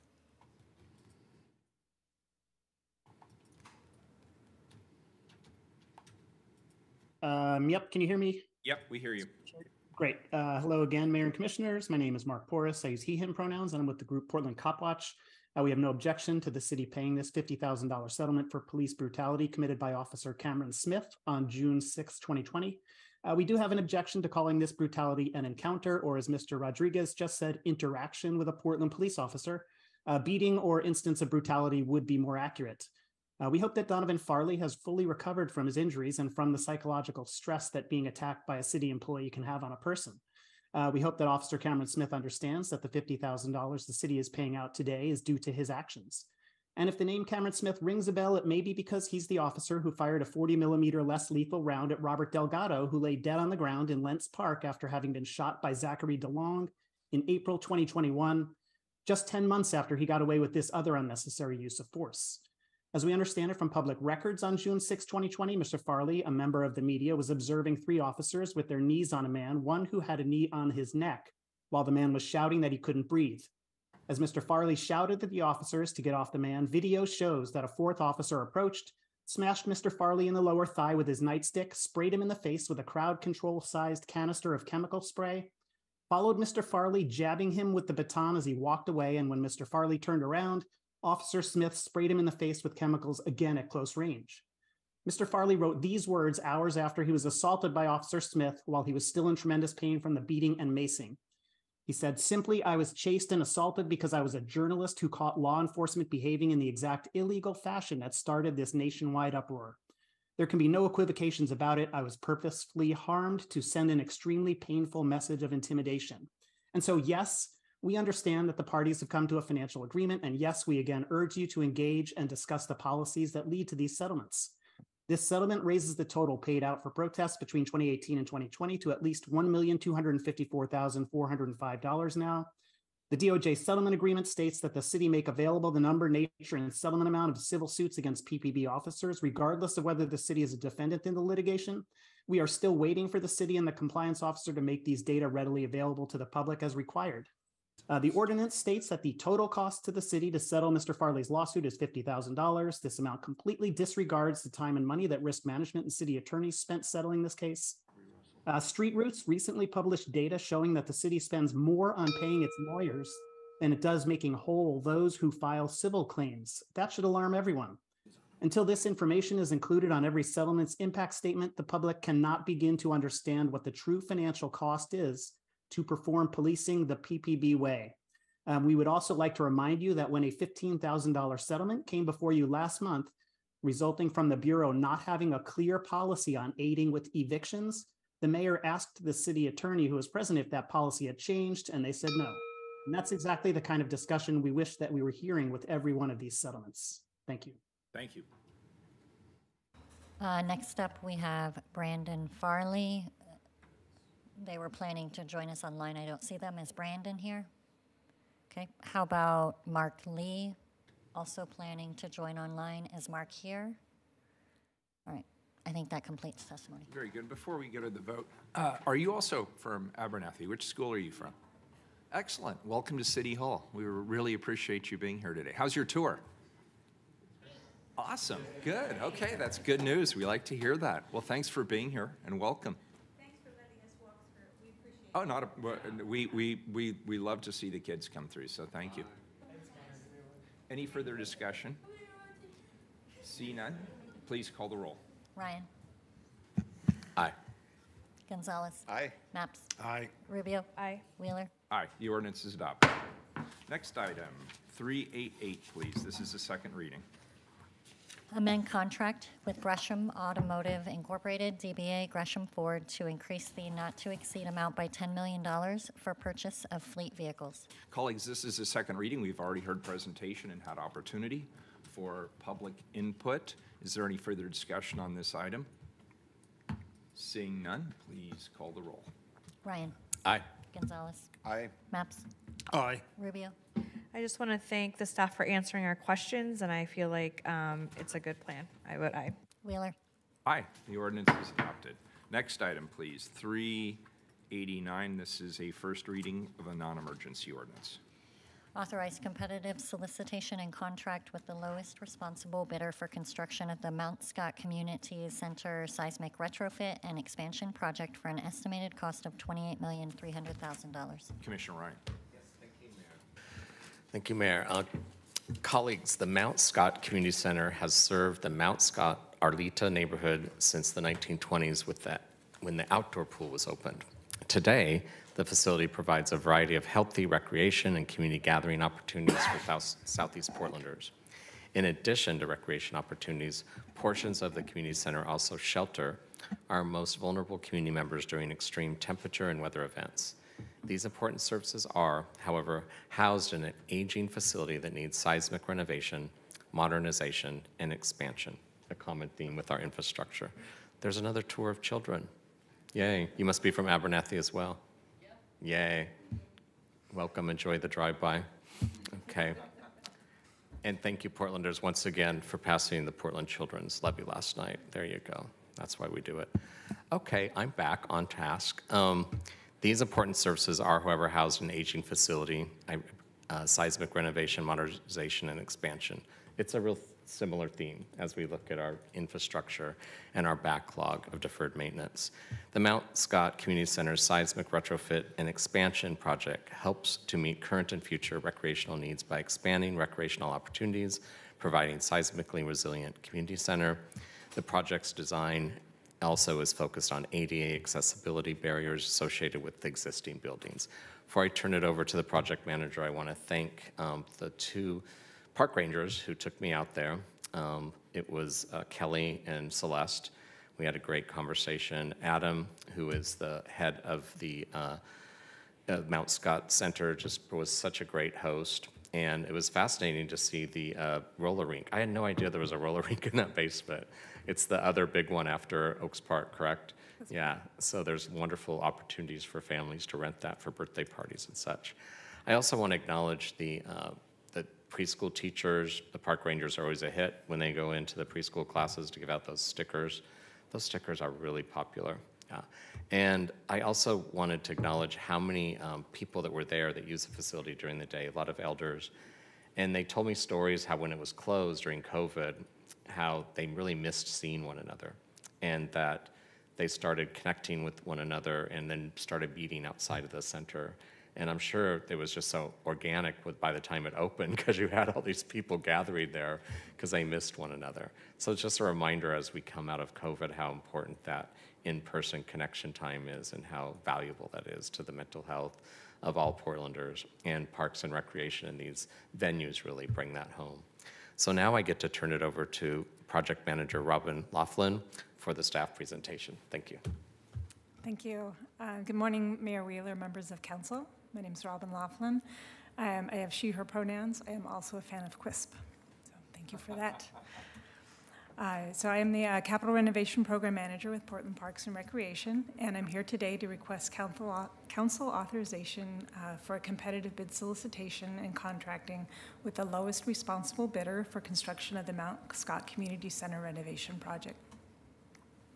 Have The, uh, is there a slideshow that you guys can see? We uh, sent that to the clerk earlier. All right, thank you. There it is. Yeah, we've got it. Great, thank you. If I can um, pull up the next slide, please. Thank you. The Mount Scott Community Center is a 60,744 square foot facility located in the Mount Scott Arleta neighborhood at 5516 Southeast 72nd Avenue. Mount Scott Community Center had its beginnings as an outdoor pool in the 1920s and has expanded over time as the community has grown. Several additions through the 1950s and a pool replacement in 2000 are the foundation of the current facility. The next slide, please. These incremental additions over 90 years has resulted in, a- in an inefficient building that is constructed mainly of reinforced, unreinforced masonry, with little capacity to provide adequate recreational programming to this growing southeast Portland neighborhood. Mount Scott Community Center is representative of the city's aging infrastructure with a long backlog of deferred maintenance needs and nearly all of its mechanical systems at or past their useful life. The areas shown in hatched uh, orange on your screen are the areas um, that will be being demolished as part of this project and replaced with new modern facilities. I'll have a little more of that on that in a moment. Have the next slide, please. The existing amenities at Mount Scott Community Center include an indoor pool, fitness rooms, a gymnasium, meeting rooms, locker rooms, and roller skating rink in the basement. The community center supports a broad range of recreation opportunities for visitors from preschool, teens, adults, and seniors, really serving the full community well. Again, roughly half of the existing facility is comprised of unreinforced masonry, and the proposed renovations will provide increased seismic resiliency for this facility. Among those areas slated for upgrades are the fitness room, uh, as shown in the middle photo, which is currently undersized for its use. These ex- existing HVAC systems also are reaching the end of their useful life and will be replaced with modern, efficient systems. Next slide, please. Work on the Mount Scott Community Center project began in 2018 with the facility condition and needs assessment. Recommendations coming from that work were made in early 2020, and schematic design based on those recommendations began in July of 2021.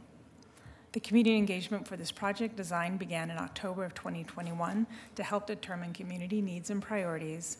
The public comments were received through a 30-question survey that was provided in five languages, English, Chinese, Russian, Spanish, and Vietnamese.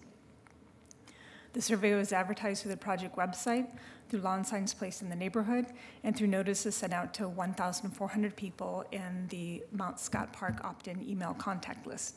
An additional 6,500 households were reached via our nextdoor.com platform. The project team also worked with the City of Portland's Community Engagement Liaison Services Program to conduct additional outreach to communities who might be isolated due to language barriers. And we also had direct outreach with the Arleta Sun Community School, the Marysville Elementary School, Woodmere, Woodmere Elementary School, Lane Middle School, and Franklin High School. The input was used to inform the initial project design, and following that work, a public uh, open house meeting was held in September 24 of 2022 at Mount Scott Community Center to present the proposed design. The community feedback from that meeting resulted in a final preferred design that was moved forward to the construction documents that we'll be hoping to bid uh, later this year. That September 2022 meeting was also accompanied by an online survey presented in the same uh, language as we spoke to before. That was presented to the community from September 24th through October 10th. And throughout the design process, we worked with the Mount Scott Arleta Neighborhood Association and the Foster Powell Neighborhood Association. The Southeast Uplift and all Southeast Portland Neighborhood Associations are also via the um, email contact list. The next slide, please. Thank you. So when construction is complete, uh, the Mount Scott Community Center will be 70,515 square feet and will provide an updated, modern, seismically resilient facility for the community. The existing auditorium, pool, gymnasium, locker rooms, and roller skating rink will remain. The project will include the following major elements, uh, demolition of that unreinforced masonry portions of the building, including the 1920s era bathhouse and the 1950s era auditorium and fitness rooms. 31,131 square feet of new, new construction, two stories, including fitness rooms, rental rooms, event space, and classroom spaces and, off, and offices will be offered in the yellow and orange uh, areas shown on your screen. Next slide, please. The project will present a significant portion, uh, will address a significant portion of our major maintenance backlog at this facility, including new roofing, HVAC, and fire fire sprinkler systems. And the seismic upgrades will be made to the gymnasium uh, and the roller rink areas. Our exterior improvements include new entry plazas, parking lot upgrades and lighting, landscaping, right-of-way dedication, and necessary public street improvements. As Commissioner Ryan mentioned, during severe weather events such as high heat, ice, and heavy snow, this community center opens as a shelter for our most vulnerable neighbors. The HVAC systems here were specifically designed to support this use with air conditioning upgrades and air filtration systems that can help support extreme smoke uh, events. And the next slide, please. Thank you. Our project funding comes from multiple sources. Uh, in 2018, we were awarded one, 15 million from Mayor Wheeler's Build Portland initiative to address part of the maintenance backlog at Mount Scott Community Center and to also address important structural concerns, seismic upgrades, and roof renovations. The Build Portland funds are leveraged by 12.1 million in system development charge funds to support the expansion of the community center and a total of 245,700 major maintenance general funds to facilitate ADA improvements. The Mayor's Livability Emergency Coordination Fund provides an additional 7 million to this project. And last, in 2017, we had 80,118 in, in funding um, allocated as part of the capital set-aside project. The overall total project budget is 34.5 million. And our next slide, please. So when this project began, alternative contracting methods were uh, not the norm for the city, and a decision was made to develop a project with a traditional design bid build approach. As a result, this project will be bid as a standard low bid contract. Staff are working with our colleagues in uh, procurement services to ensure that COBID certified firms are aware of the project well ahead of the bidding process. Um, outreach will include detailed presentations to the National Association of Minority Contractors, Latino Built, and others. Our desire is to provide detailed project information to these firms and bolster their opportunity to successfully bid on this project and become part of this remarkable improvement for the community. We do plan to return to council with uh, procurement services to share our COBID participation rates of the successful bidder and answer any questions you may have at that time. So with that, we'd like to request um, authorization for a competitive solicitation and contract with the lowest responsible bidder for construction of the Mount Scott Community Center seismic retrofit and expansion project for an estimated cost of $28,300,000. With acceptance of this authority to bid, um, we will proceed with bid advertisement as soon as possible. And in partnership with procurement services, we'll target exceeding our standard subcontractor equity program specification requirements of 20% of the hard bid. We anticipate construction to start in uh, late fall, early winter of 2023, with a completion date by uh, 2000, oh, 2025. I'm happy to answer any questions you may have at this time. Great, thank you. Commissioner Mapps? Um, Thank you. I want to, um, I really appreciate the presentation. This looks like a great project. Um, I think my question may actually be for Commissioner Ryan. Um, You know, later on today, I believe this council will vote on a proposal to cap uh, system development charges, um, including system development charges to parks.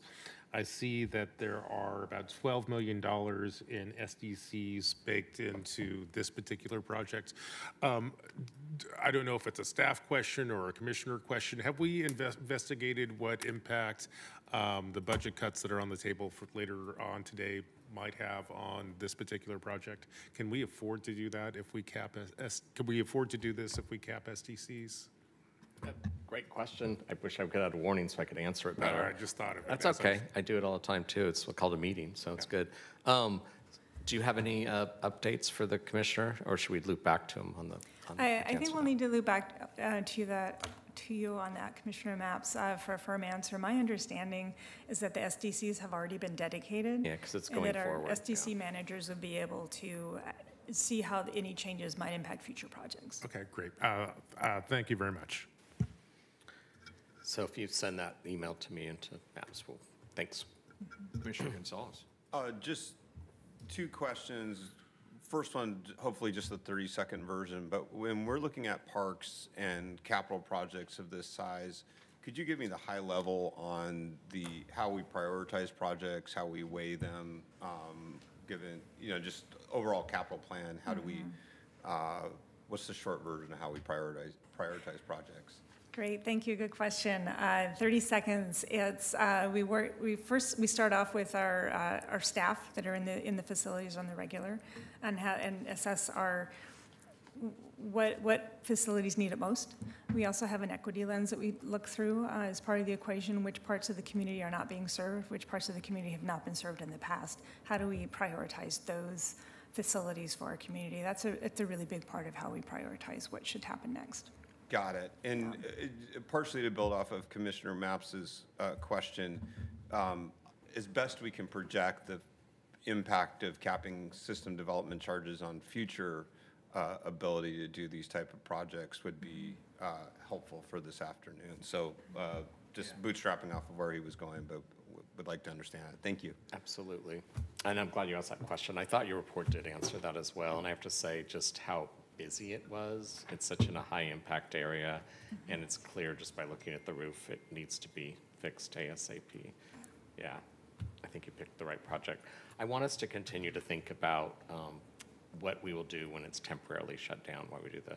So I think that's one of the biggest challenges when Parks um, takes on these endeavors, is how we work with the community so that the nearby facilities can take that backlog and how we can help with transportation and such. So I just wanted to put that out there and also to remind Parks that that's on the top of my mind when we look at this uh, shutdown, because it's so popular, it was packed there.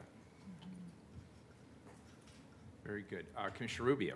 I just want to say thank you, I'm Robin. sorry, did I, I passed Commissioner Gonzalez? I'm done, You're sir. done, okay. Yeah. Commissioner Rubio? Just want to say thank you, Robin. It's um, uh, it's great to see you, but also um, just you know this project has been a long time coming in development, and um, very excited for the community. I know they've been waiting for this, um, and also just this is uh, remind me, but this is also a site that that the the broader community and inter- interjurisdictionally, we have, um, has relied upon for like a warming center, is that correct? That's Um, correct. And so um, it's actually timely, and, and can you tell me a little bit about, um, is that going to continue, or what's the, what's the plan there? Yeah, that will continue, uh, or I, I don't run the center, so I'd have to confer with Adam for sure. Uh, But my understanding is that those support services would continue after the renovation. We've specifically upgraded the um, heating, ventilation, and cooling systems to be able to better respond to higher temperatures and again, uh, smoke events. Right. It lifted up those, those concerns around HVAC right now. Yeah. Absolutely. Okay, Yeah. great, thank you. Very good, thank you. Do we have public testimony on this item? No one signed up. All right, very good. Anything else on this before I move it? This is a first reading of a non-emergency ordinance. Great presentation, phenomenal uh, photos. And uh, it moves to second reading. Thank you. Thank Good you. work. Terrific work. Next item, please. Item number, do, do people want to take a five-minute break? Got a couple, why don't we do that? Let's, let's take a five-minute recess. Uh, We are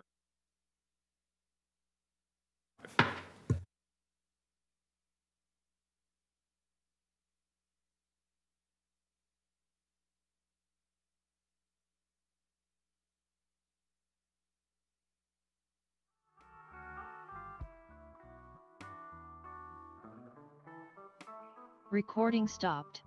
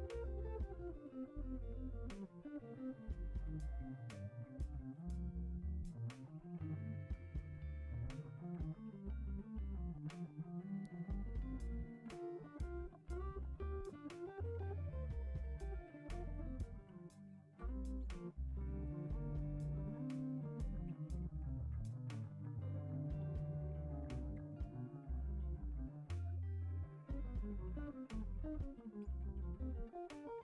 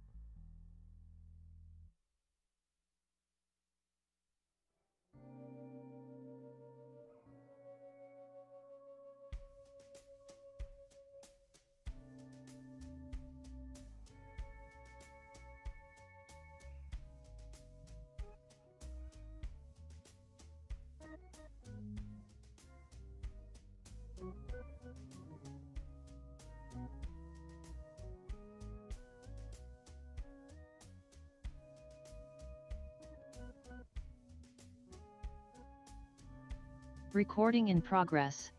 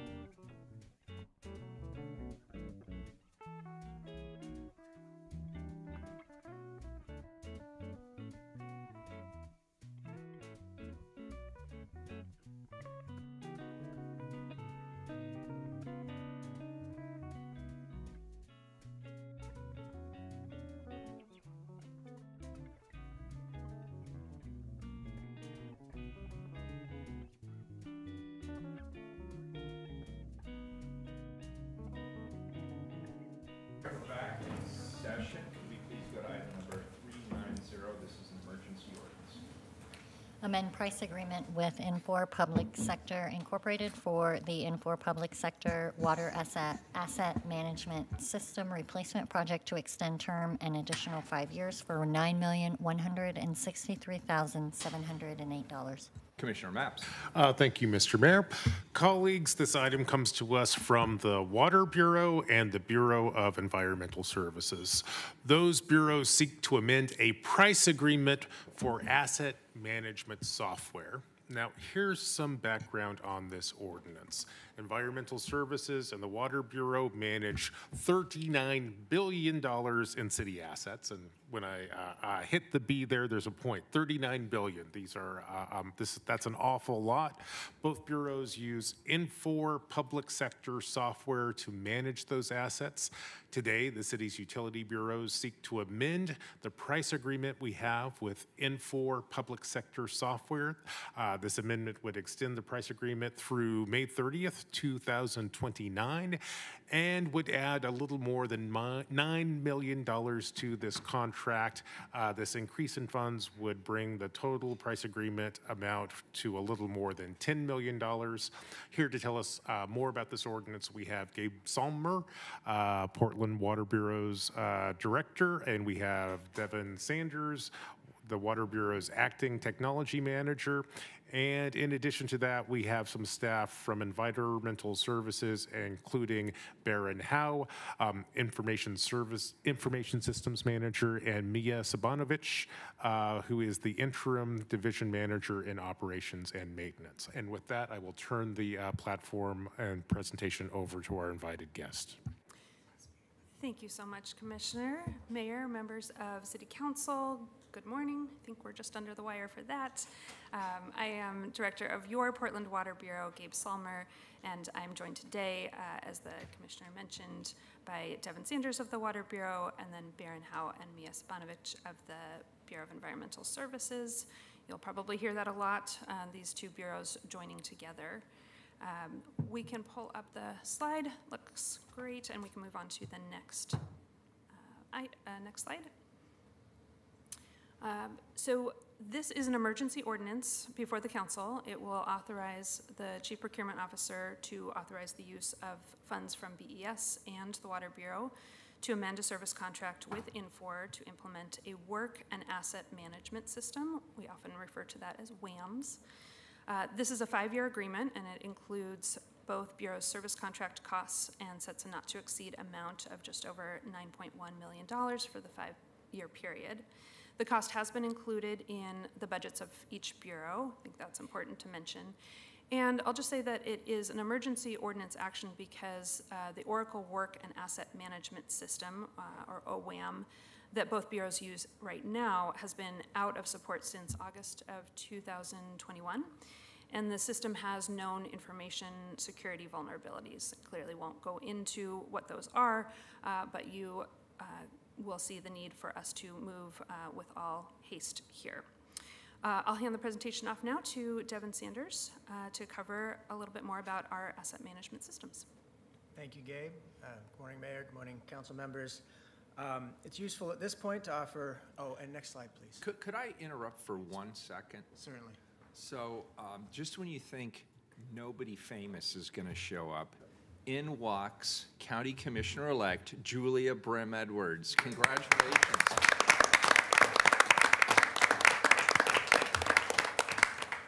Thanks, thanks for being here.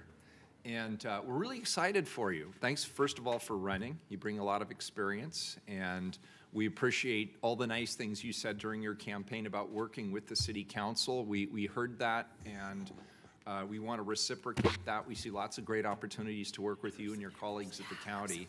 And the fact that today, on your very first day post-election, you've chosen to come here. Well, Thanks Look, for being Somebody here. has comments for me, too. There you go. Tell us about Terrific. water management. Yeah, um, thank you so much, um, Mayor Wheeler and members of the um, council. I'm super excited to be here, and I was actually just going to drop in, and I didn't know you were in um, meeting today, but I was going to We're drop in. we're always in meetings. That's what we do. I know, you're just hard at work. Um, But I wanted to stop in and as one of my first things after being elected to um, tell all of you individually, but I- I appreciate the opportunity to tell you all collectively. I'm really looking forward to working closely with the city. Um, I think we're going to solve our problems and the big challenges we face as a community, um, working together. And I pledge uh, my partnership, and I'm really looking forward to um, getting, getting in there and uh, taking effective action together uh, for our community, because I know we all sha- share uh, the same love for uh, this city and community, and um, I'm really looking forward to working with you. Um, I'm not going to be sworn in until June 8th, but I'm ready to go to work, and I really appreciate all of your services, and um, I'm looking forward to the partnership. Great, thank, thank you for being here. And colleagues, I don't know if anybody wanted to just extend a, a love welcome. to. Sure. I- I I certainly would, and I- and I'm certain my colleagues uh, would too. I just want to congratulate the Commissioner-elect on her electoral victory, and I want to thank you for stopping by today uh, uh, um, to visit and uh, reaffirm the need for the city and the county to work together. Uh, um, You have demonstrated that with both your words and actions. I also want to pledge my commitment to work with you and the county to do everything that we can to make sure that we serve the people of Portland and Multnomah County um, more effectively than we are today. Um, I also want to um, um, encourage you to take a vacation uh, uh, between now and your uh, um, swearing-in time. I got that advice when I was in a similar moment to you. I don't think I ever got around to exercising that, uh, um, which was a mistake because this is probably the last chance you will get for a long time to um, go sit on a beach. Unfortunately, I still have, uh, not unfortunately, but I have the school district budget uh, Oh, to yeah, to so adopt over the next uh, two weeks. Well, it's, well, it's. But I am going to take tonight off. Try to get, yeah, exactly. Just g- at some point, just getting sleep is, uh, um, well, is all you can do. So I, I hope that you are sleeping well. Thank you so much for your service, and uh, thank you for stopping by today. Thank you. Yes, uh, Commissioner-elect, so good to see you. Uh, We go back a ways because of the fact that we, um, well, I'm an alum of the Portland Public School Board, and you've been on that school board for some time in and out. Even when you weren't on the board when I was on it, it felt like you are because you're just so engaged. And Commissioner Mapps, I hope Julia takes the vacation as well, but I can tell you this.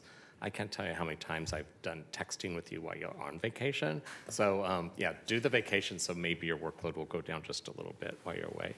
But thank you for jumping in the race. Um, the overlap is obviously a big deal. I know coming from the school's background, you'll be such an easy fit for the county because it's so much of the wraparound services for evenings and weekends and summers come through the county.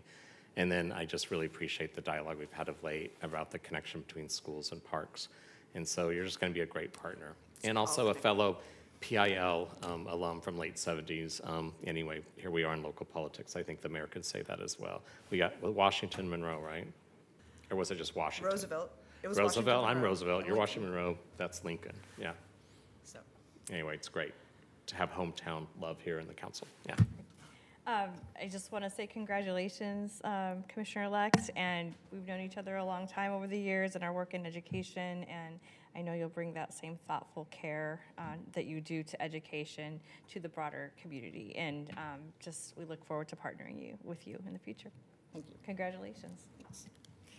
Congratulations. I I went in on this a little bit too. Look forward to working with you. We've got some serious problems in the city and county, but uh, a lot of opportunity too, so look forward to working with you.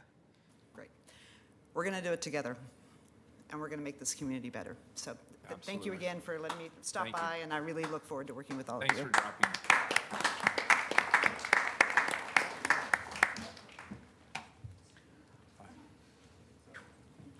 Thank you. Sorry to interrupt your presentation. Thank you. Okay. Uh, So at this point, what we'd like to do is offer a brief glimpse into what an asset management system is. Um, An asset management system is comprised of the processes, tools, and technology used to manage a wide variety of assets, all the way from the simplicity of a valve, excuse me, to the complexity of an entire treatment plant.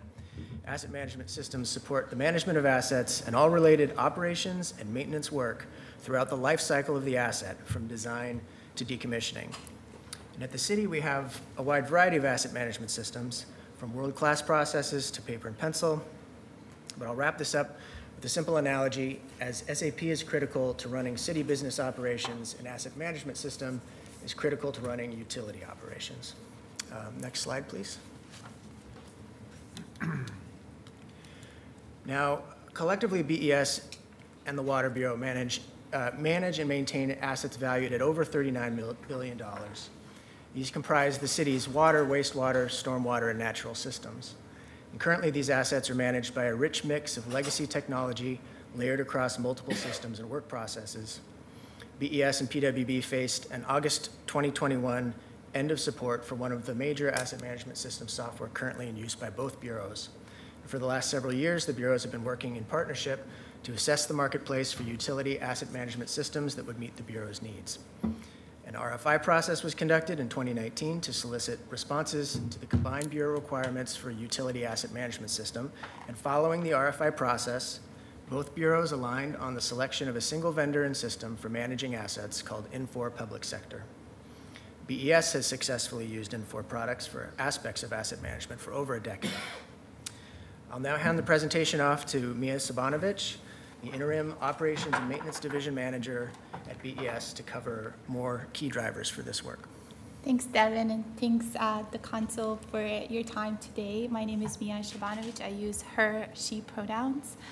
Um, while the ordinance before the council today is a simple one, to authorize the use of a contract to purchase implementation service, I want to highlight the unique and strategic opportunities that a future asset management system represents for BES and PWB. Both bureaus recognize the opportunity to align and continue to support city core values of anti-racism, equity, transparency, communication, collaboration, and fiscal responsibility.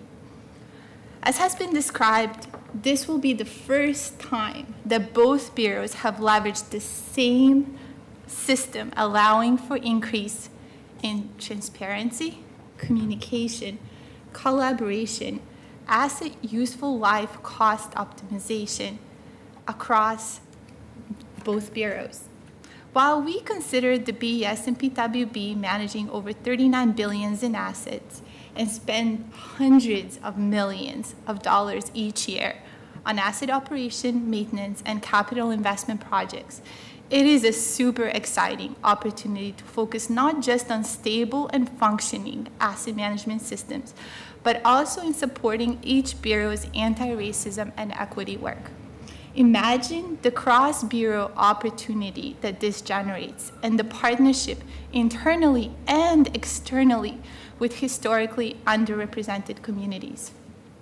Today, actions before the Council to approve acquisition of implementation services is the next step in, the in this exciting process, in this exciting journey.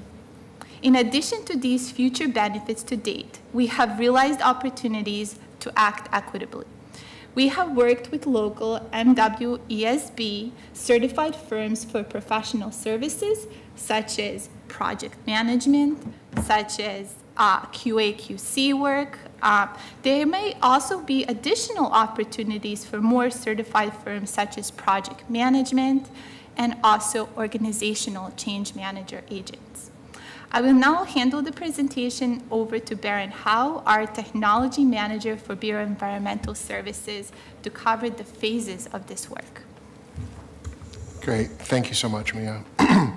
Hello, Mayor and members of City Council. Um, if we could advance the slide, please.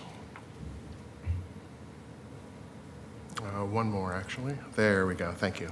So in this section, I'll briefly explain the approach to this project, uh, where we've been, what comes after today's ordinance uh, to procure implementation services. So in 2019, both bureaus collaborated and coordinated to evaluate and select the software Infor public sector through an RFI and then a cooperative agreement process. Uh, that culminated in Ordinance 190315, uh, a software as a service contract. At that time, we informed council that we had that we planned to be back, knowing we'd be required to increase our existing Infor services contract ceiling once we solidified our requirements, developed a scope, and could provide a higher confidence cost estimate. So from 2020 to um, late last year, 2022, using remaining funds on the existing services contract, we completed what is termed the engage scoping phase, where planning workshops with Infor were held with several Bureau subject matter experts to determine the overall system requirements across both bureaus. These workshops resulted in cost estimates, scope, and schedule for the implementation phase of this work. Today, as promised, we are back to get your authorization to proceed with amending the city's existing Infor services contract to begin that implementation phase for both bureaus. Uh, In addition, we're planning for engagement and oversight from the, uh, from the Technology Oversight Committee and have secured a third-party QA/QC uh, firm to monitor the project along the way. Uh, And lastly, following implementation, both bureaus will transition to ongoing operations and what we've termed the evolve phase, where we'll govern and continuously evaluate and and improve to include new features and/or functions to support existing uh, and/or new business flows to meet the asset management and maintenance needs of the bureaus. Thanks, Baron. And we can move to the final slide. So really, that concludes our presentation. We're available for any questions that the council might have. Commissioner Mapps? Um, I want to thank everyone for the presentation today, and I want to thank you for this uh, very important project. We're kind of tight on time today, so instead of posing questions to elicit information, um, I think I want to just turn directly to my colleagues and share um, some thoughts I have about this particular ordinance um, and this particular project. It's it's very exciting, and I think there's some lessons uh, to be learned here. Uh, first, as we've talked about many times uh, since we've been on this council, this city needs to do a better job at asset management. We have two bureaus in the city that kind of do it best, um, and this is an example of bureaus really stepping up and being on the cutting edge of asset management. Second thing that's really exciting about this, we have two different bureaus using the same asset management system. Uh, one of the things that comes out of that is I think it will become much easier for water and environmental services to uh, um, work together to trade information. This makes a lot of sense since literally our pipes are kind of a circle at some level. Uh, uh, um, so that is huge. And the fact that they can trade information so efficiently um, creates opportunities for um, other efficiencies. Um, here's a good example. Um, I think I've talked to almost everyone on this council about how a couple of weeks ago I did a um, uh, Water Bureau permit uh, ride along. So I went down to the folks, hung out, spent an afternoon or a morning hanging out with the folks of the Water Bureau who do uh, who issue permits. And you probably have talked, you heard me talk about the fact that uh, the people who issue our Water Bureau permits literally have to deal with 21 different uh, pieces of software to do that work. And I think one of the reasons why there's so many different bits of software involved is that we're dealing with files that come from different bureaus. So the Housing Bureau or even the Water and Sewer might have different files. And so sometimes you're literally using a program just to convert a program so that you can read it and whatnot. Um, all that kind of friction I hope uh, uh, uh, goes away and becomes much simpler. So I would point out, and this is a hypothesis, frankly, I haven't fully um, unpacked it with the folks who are experts in this field. I think if we wanted to get better at permitting, uh, um, one of the things that we should really uh, focus on and explore is to try to get as many of our bureaus as possible on the right on similar or at least uh, asset management software systems that can talk to each other. I think that would take away a lot of the friction that we see, would make us much better in this space. Um, and the uh, um, so that's very exciting. Uh, um, I'll tell you, I'm glad to have these two uh, bureaus uh, um, using the same software. One of the discussions I'll be having with PBOT is to see if this is a good fit for him, for them too. I don't know, you know, managing pipes is different from managing roads. I'm not an expert in this field, but if there are opportunities like that, uh, certainly one of the lessons I've learned in recent months and one of the lessons I carry forward in the future. Um, and the last uh, opportunity uh, that I think is really um, important here is we're all sitting here, uh, um, in a, we're in other meetings thinking about uh, reorganizing and reimagining government, how we cluster bureaus and whatnot. You know, it is as I think about appropriate bureau, bureau, clusters, actually clustering bureaus that could use the same asset management software, um, makes a certain sort of sense. I don't know if that's the only consideration I would have in terms of which bureaus I cluster together, but there, in, in terms of just being a high-level manager, which we kind of are, and certainly our future city managers are, uh, actually having asset management software kind of define what's underneath your tent, I think makes a lot of sense. And I hope that we uh, consider these possibilities as we move forward into the future. Thank you, Commissioner. Commissioner Gonzalez? Yeah, I'm going to keep it quick. This is, is this, this is SaaS then, i- is the license model? Okay, and um, everything's going to be stored in the cloud, uh, reputable vendor? uh, Long track record in government contracts. Um, I just want to bootstrap a little bit off of Commissioner Mapps' points about the possibility of this being an example for the rest of the city. Can we consolidate fixed assets? uh, in a lot of our other systems across bureaus where it makes sense. Um, you know, SAP has a certain function when we talk about payroll, but it's just, I I think long-term, it will drive uh, utilization, and I think it's going to lead to efficiency. So glad to support the project. Thank you. Thank you. Thank you. Any further questions? Do we have public testimony on this item? No one signed This is an emergency ordinance. Please call the roll. Ryan? Thank you so much. That was a great presentation. And it really is a significant step towards addressing the limitations of the current system and improving workforce and asset management in the public sector. And who doesn't love the partnership between the cousins of um, the Bureaus of Environmental Services and Water? Um, Anyway, this is a great uh, journey that you're on, and this is a pretty easy common sense vote. I vote aye. Gonzalez? Aye. Mapps? Um, I want to thank staff for the presentation uh, today and the work that you've done to get us to this point. Uh, I think this is a very exciting and very important moment in the city, uh, which is why I am glad to vote aye. Rubio? Aye. Wheeler? Aye. Thank you. Great presentation. The ordinance is adopted. Thanks, Commissioner Mapps. Sure. Next time, 391. This is a first reading of a non-emergency ordinance. Authorize intergovernmental agreement with Multnomah County Health Department for $129,000 to conduct lead-related public health services for the lead hazard reduction program. Commissioner Mapps. Uh, Thank you, Mr. Mayor. Colleagues, this item comes to us from the Water Bureau. The Bureau seeks to enter into an IGA with Multnomah County's Health Department for $129,000 to conduct lead-related public health services. Here is some background on this ordinance. For more than 20 years, the City of Portland's Water Bureau has partnered with Multnomah County's Health Department to provide lead poison prevention services to our community. Uh, The ordinance before us today would authorize the Water Bureau to continue to support uh, the county's lead-related public health services for one additional year. Um, Here today to tell us more about this ordinance, we have Bra- uh, Scott Bradway, a Water Quality Information Program Officer. Welcome, Scott. Thank you. Uh, Thank you, Commissioner, Mayor. Um, Scott Bradway, he, him, Water Quality Information Program Manager with the Portland Water Bureau. Um, As Commissioner Mapps mentioned, um, the Water Bureau is seeking approval to enter into an intergovernmental agreement with the Multnomah County Health Department in the amount of $129,000 for lead-related public health services to our community. Uh, We've been partnering with the Multnomah County Health Department for over 20 years. This partnership has been part of our lead hazard reduction program, which has served as our compliance with the lead and copper rule. Um, This compliance program has included education and outreach, um, lead and water education and testing, home lead hazard mitigation, and partial corrosion control treatment. In April of 2022, Portland Water Bureau brought on improved corrosion control treatment. With this new treatment online, we are currently transitioning our compliance approach with the lead and copper rule from our lead hazard reduction program to full corrosion control treatment going forward.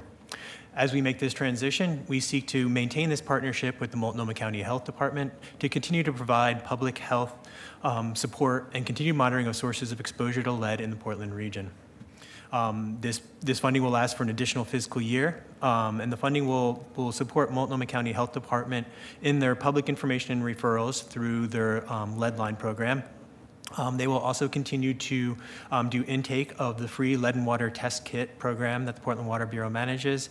And most importantly, they will um, be managing elevated blood lead level investigation and case management for the community. And with that, open up to any questions. Commissioner Gonzalez. I'm sorry, that's legacy. All good. Take my hand. Great. Uh, Do we have public testimony on this item? We do. We have three people signed up. All right, let's hear them. Uh, First up, we have Kimberly Goheen Alban online. Thanks. Yes, this is Kimberly Goheen Elbin, clerk, uh, citizen for life here. Um, so I was there speaking last week. I actually have uh, an email that said that I could have spoken on uh, uh, time certain 381 when asked if there were anybody was there. I was w- sitting there waiting.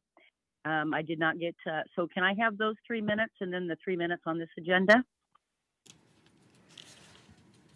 You, you, you have three minutes for public testimony. All right. Uh, I, I would like to let the citizens know of Portland that, in, in my understanding, this is the way that a Marxist uh, local government will act uh, against citizens like myself who speak up. Um, you are United Nations members of the ICLEI. Therefore, I'll speak on all of the agendas in short as I look at my notes.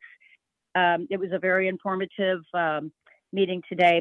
I'm all for the watershed programs other than the inside hardware uh, earned tax dollars passed around between government government officials. Um, so yes to these programs, but while the climate action plan was mentioned, I'll say this: your membership to the United Nations ICLEI, which does not follow the United States Constitution, um, uh, must stop. You, I'll ask you to get out of that membership.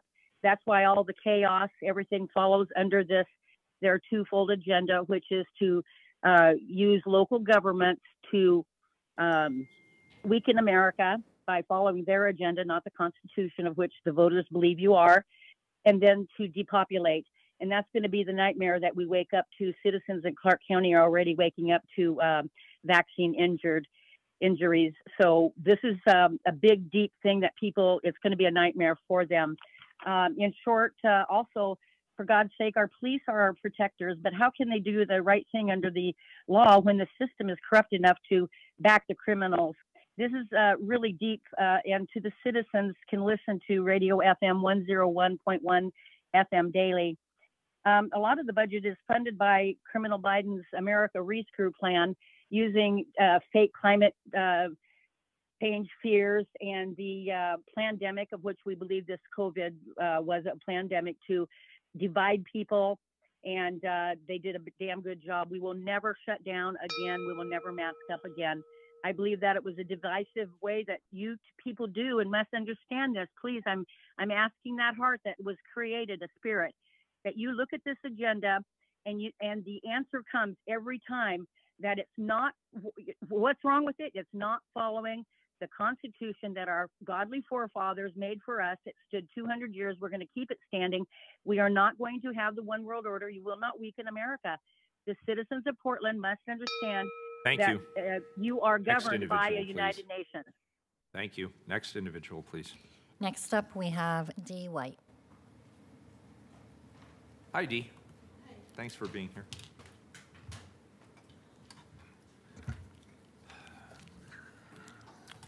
My name is Dee White.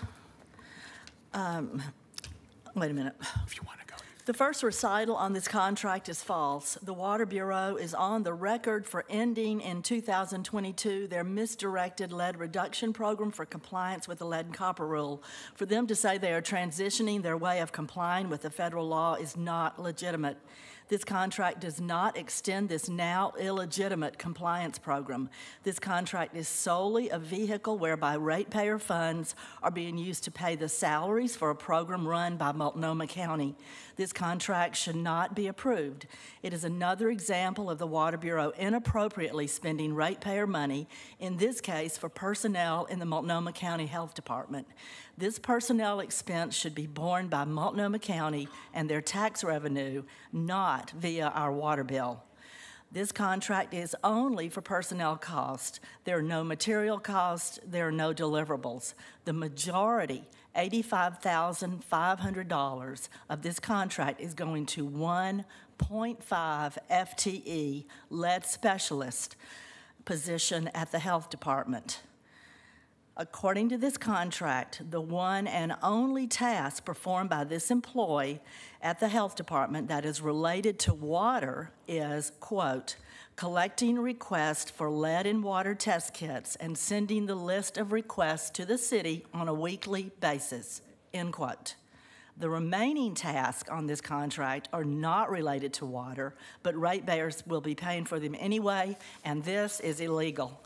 The court has ordered that the spending of ratepayer dollars must be related to providing clean, safe water to Portland water users. Thus, the vast majority of this contract cost is illegitimate spending of ratepayer money. Meanwhile, the Water Bureau's $20 million treatment facility that was opened and began operation last year has failed at significantly reducing the lead in Portland's water. Do not think, Commissioners, for one second that this facility is anything other than a complete waste of ratepayer money. Portland Water Bureau continues to fail at protecting the public's health with their continued unsafe lead levels in our drinking water. But to loop back, this contract should not be approved. Ratepayer money should not be used to pay the county personnel performing tasks not related to water. Thank you. Thank you. Uh, Next up, we have Portland Advocates for Lead-Free Drinking Water.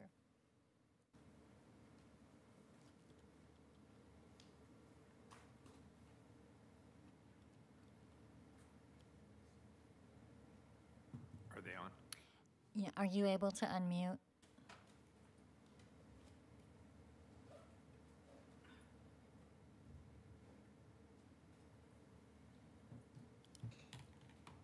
To loop back, this contract should not.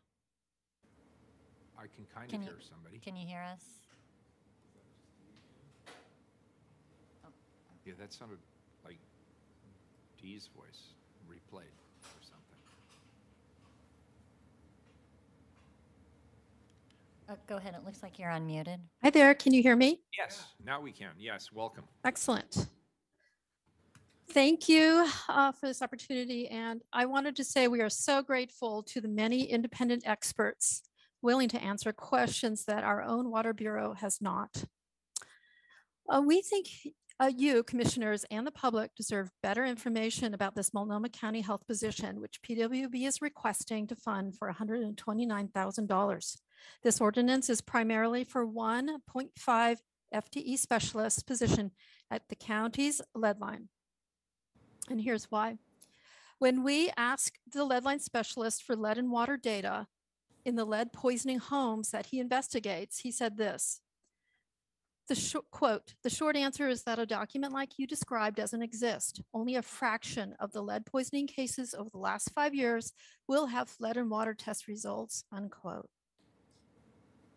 Leadline instead primarily focuses on lead paint per Portland Water Bureau's lead hazard reduction program. But as researchers and scientists know, lead in drinking water is different from lead from other sources since it disproportionately affects developmentally vulnerable children and pregnant mothers. In fact, tap water can account for more than 85% of total lead exposure among infants consuming reconstituted formula. Even so, the lead line specialist rarely, if at all, tests the tap water in his lead poisoning cases. Instead, he collects requests for a DIY lead and water kit. You won't find lead and water if you don't test, and this lead specialist, this lead specialist doesn't.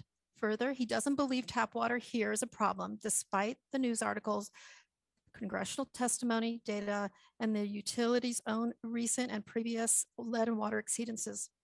Secondly, perhaps equally important to call out here are the faulty water test kits themselves that the PW, PWB aggressively promotes and sends to customers and leadline clients. As the director knows, these old science kits don't follow EPA protocol for vulnerable populations. To be clear, these kits can grossly underrepresent and may even miss lead coming out of taps. And finally, a third critical error. The Portland Water Director and City Attorney wrote, quote, lead poisoning prevention into this agreement six times. Yet, if Portland Water Bureau were engaging in lead prevention, they would be testing every one of these homes using science and sound water testing protocol.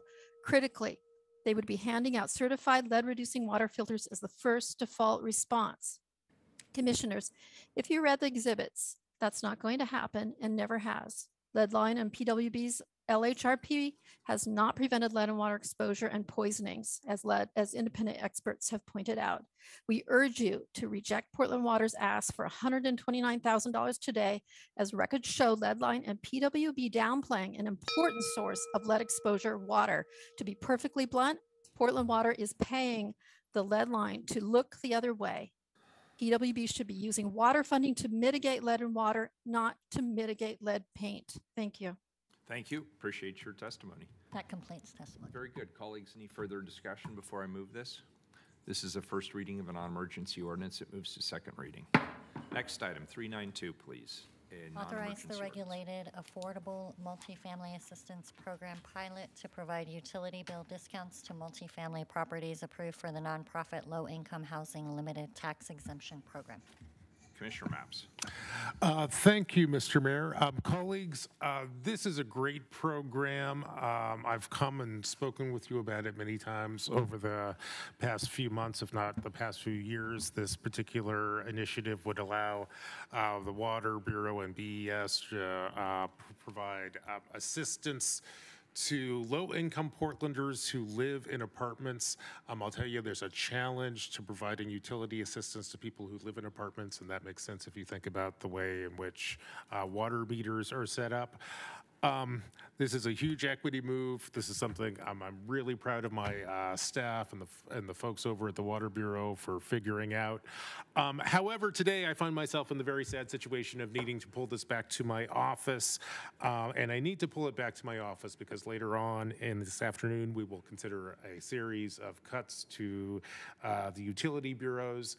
Um, and uh, should those cuts pass, I will not be able to afford to um, offer uh, rate breaks to low-income Portlanders who live in apartments. So um, until we get greater clarity on uh, what resources are available to the water and sewers, uh, this project um, remains in my, on my desk. So I'm pulling it.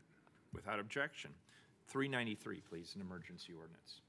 Authorize new construction financing for an affordable housing project located at 1131 Southeast Oak Street to be developed by Francis Clare Place Limited Partnership or a Catholic Charities of Oregon affiliate not to exceed $9,421,891. Commissioner Rubio. Thank you, Mayor. I'm pleased to be bringing forward Francis and Clare Place, a project by Catholic Charities of Oregon for a new permanent supportive housing development in inner southeast Portland using Portland Housing Bond funds. The proposed city funding leverages over 18 million of other public and private financing and delivers 61 units of affordable housing, all targeted to serve households impacted by homelessness. The project is in a centrally located area close to numerous amenities, including public transit, health clinics, grocery stores, and recreational activities or oppor- opportunities in a location where affordable housing is scarce. I want to thank the Archdiocese of Portland, St. Francis of Assisi Catholic Church, Catholic Charities, and its development partner, Edlen and Company, for deli- delivering much-needed affordable housing and culturally responsive support services in partnership with the City of Portland and stakeholders. So I'd now like to pass it to PHB's Interim Director, Molly Rogers, to share more about this great project. Thank you. Good afternoon. Thank you, Commissioner Rubio. And um, good afternoon, Mayor and Commissioners. For the record, I am Molly Rogers. I'm Interim Director of the Portland Housing Bureau. With me today is Jill Chen, PHB's Housing Investments and Portfolio Preservation Manager, who will co-present with me today, as well as the Francis and Clare team. Next slide.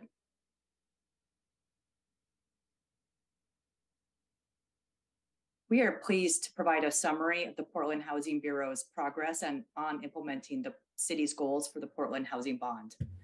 As a reminder, all bond funds have been allocated toward the creation of 1,859 new affordable homes, exceeding our commitment of 1,300 units to Portlanders by 43% to house over 4,000 people.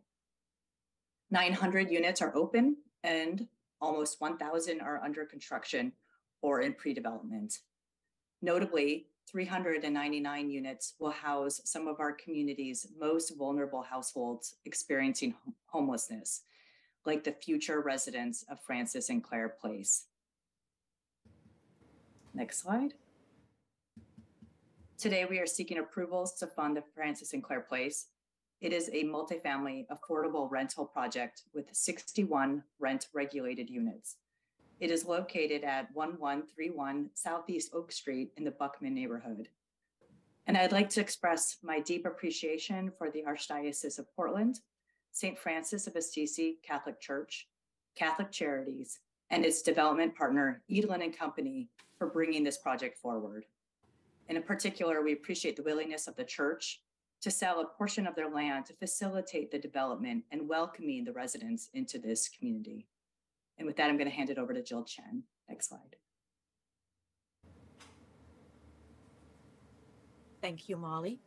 And for the record, I am Jill Chen, Portland Housing Bureau's Housing Investments and Portfolio Preservation Manager, and use she, her pronouns. As Commissioner Rubio already mentioned, this project will be 100% permanent supportive housing targeted for individuals and couples exiting chronic homelessness with rental assistance and supportive services. The borrower will enter into regulatory agreements with PHB in accordance with city policies to maintain the affordability for 99 years. Next slide, please. The project is comprised of 54 studios and seven one bedroom units, consistent with the needs of this household size and design, designed for this population. All units will be affordable to households earning up to 30% of area median income, with many expected to have no income at all. All unit rents will be supported by project based Section 8 vouchers. Next slide, please.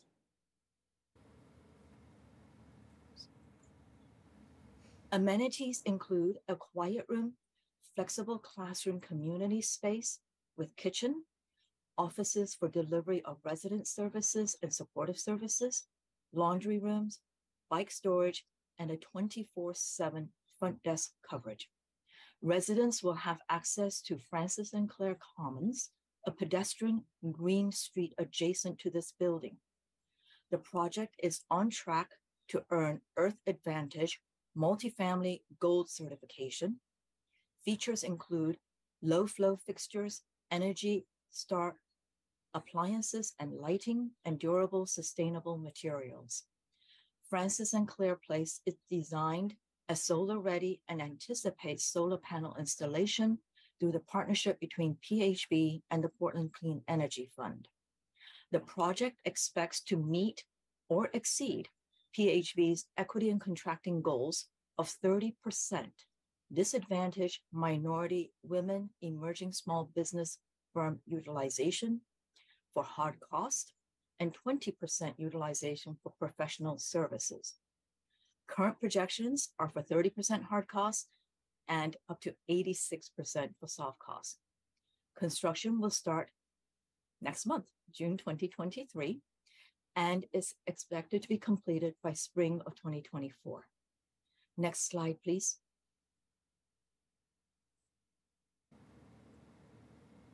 The 61 households will have wraparound services provided by Catholic Charities and Native American Rehabilitation Association, or NARA.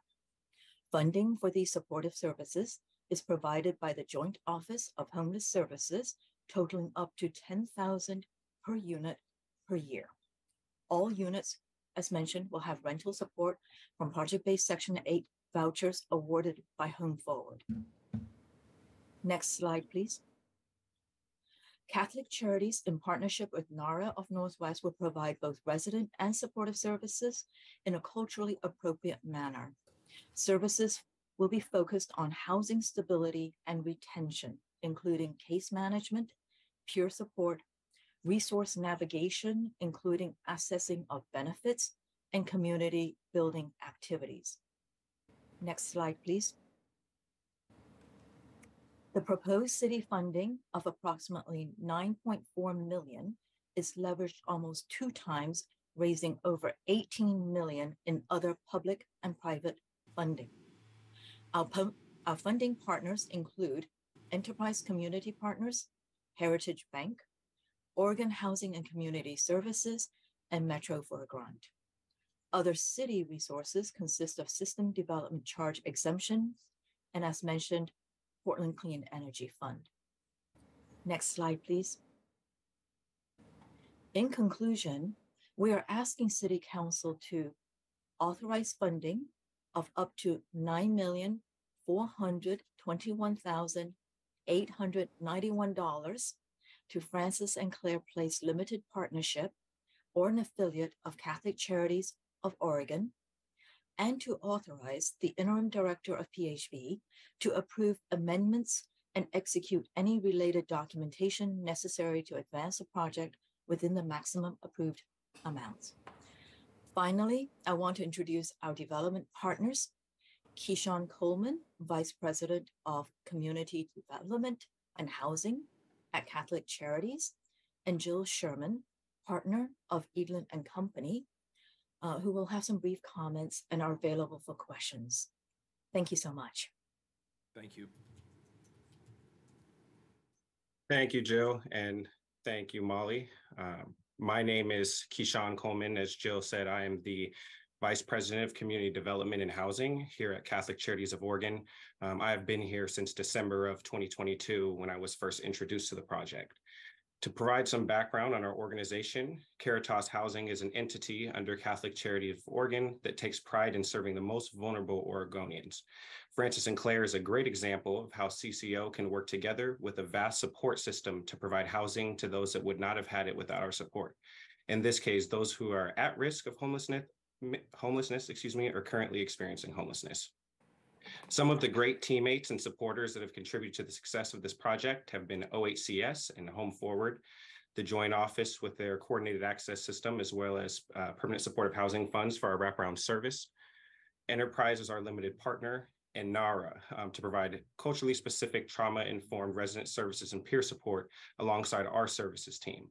Our services team at Catholic Charities of Oregon will provide oversight of on-site staffing ensure tenants are connected with case management to remain housed, provide linkage to mental health and addiction services, domestic violence survivor supports, and help applying for benefits and employ employment services as needed. Additionally, I would like to provide a big thanks to the Archdiocese of Portland as well as the St. Francis Parish for providing us with amenity-rich land next to another project that we currently own, St. Francis Park. Finally, I'd like to provide a huge thanks to the Portland Housing Bureau who has supported us in the community to meet the, the needs of houselessness and housing insecurity, which has historically had a disproportionate impact on communities of color. Through the last five months of my experience of working with the Housing Bureau, I can truly say that PHB will do anything that they can to provide housing to those who need it most. Last but not least, before I before I hand the presentation over to Jill Sherman, I'd like to provide a big thanks to her and her team for their tremendous support over the last few years on the project. And like other entities that I have named, their desire to provide housing to those who need it most. So without further ado, I'll pass it over to Jill Sherman. Uh, thanks, Keyshawn, and good afternoon, Mayor Wheeler and uh, City Council members. Um, I am Jill Sherman. I am a partner with Edlen and Co., and we are a local developer that works on affordable and middle income housing, community facilities, and projects that push the boundaries of sustainability and we have had the privilege of working with Catholic Charities on this project um, over the last couple of years. Um, projects like this, I think, really are part of the solution toward addressing some of the challenges that our city faces and that um, you know you as the council and others have been working so hard on over the last few years. This project, as everyone has explained, does reach some of the neediest populations in our community, folks who are homeless or at risk of homelessness. And these projects do not happen without local gap funding for affordable housing. And in this case, that was provided by the Portland Housing Bond. And so I think it's important to recognize the citizens for, for passing this bond and then the Housing Bureau for deploying um, all of these funds to achieve those goals that were originally set out.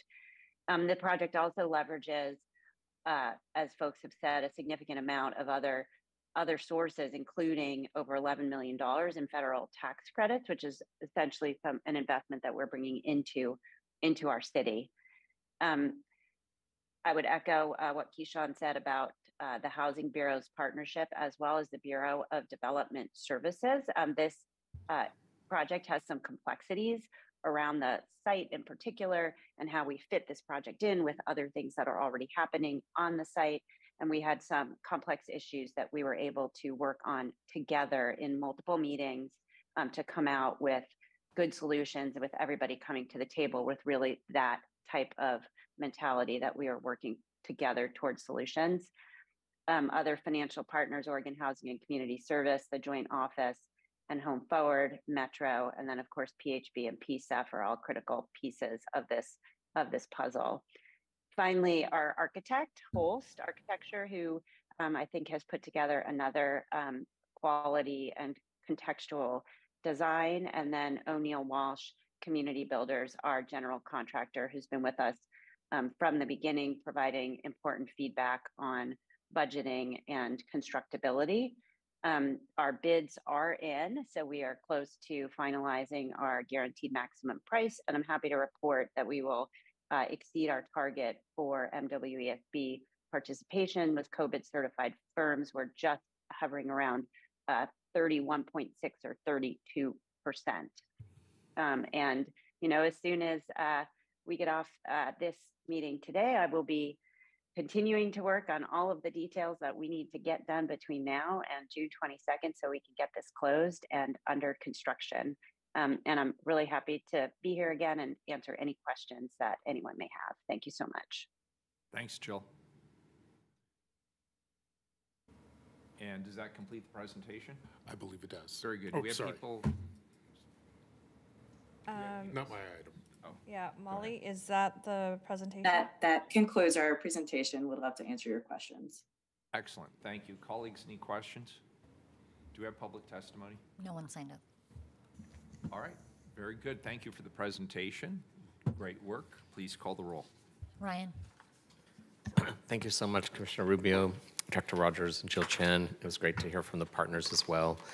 Uh, It was about a year ago when Catholic Charities of Oregon was awarded this, the funds from the Housing Bureau to construct Francis plus Clare Place in the Buckman neighborhood, and I'm just really thrilled to see how this is being executed and the financial commitments to move this forward.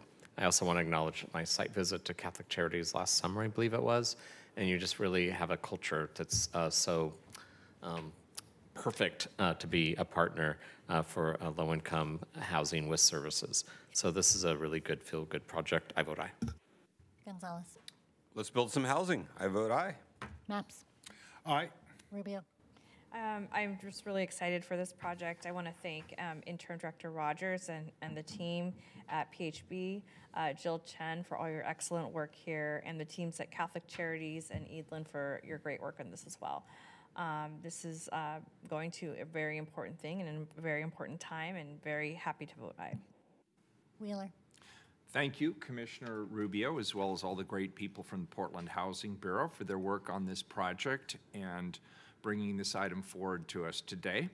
As we all know, we're in critical need of housing at all income levels across the city, including the deeply affordable level of 0 to 30% of median income.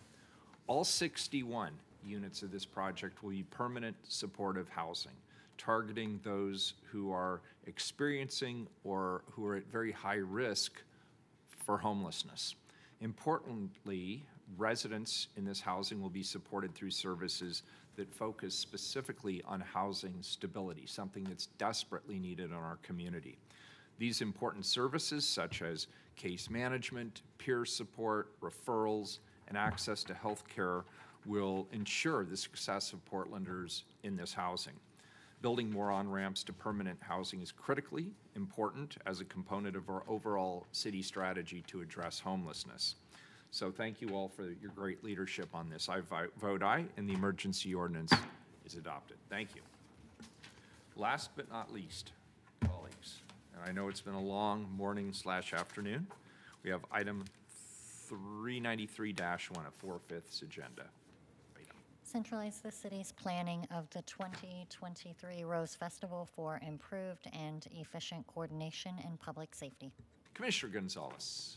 Well, I'm very proud to present this. This addresses the City and Rose Festival's shared goals of public safety and event success. I want to take this opportunity to thank all the bureaus and partners who have come together to make this happen and to ensure this event is delivered uh, in the safest manner possible. In particular, PBOT, PPB, Prosper Portland, and of course, the Rose Festival, and Portland Fire. I would also like to thank my bureaus, including PBEM and Fire, for working together for the best outcome here. Commissioner Mapps, thank you for your leadership as the Rose Festival liaison and the help your office has given. That's it. Great. And, and colleagues, I misspoke. I didn't turn the page. We have another item after this. Uh, Any, yeah, sorry. That- That was actually almost cruel at this point, wasn't it? Plus, what people can't see on TV is it's like 90 degrees in here, which is also kind of not great. Uh, Any rate, uh, do we have any public testimony on this item? No item? one signed up. Any further discussion on this item? Thanks, Commissioner. Call the roll. Ryan?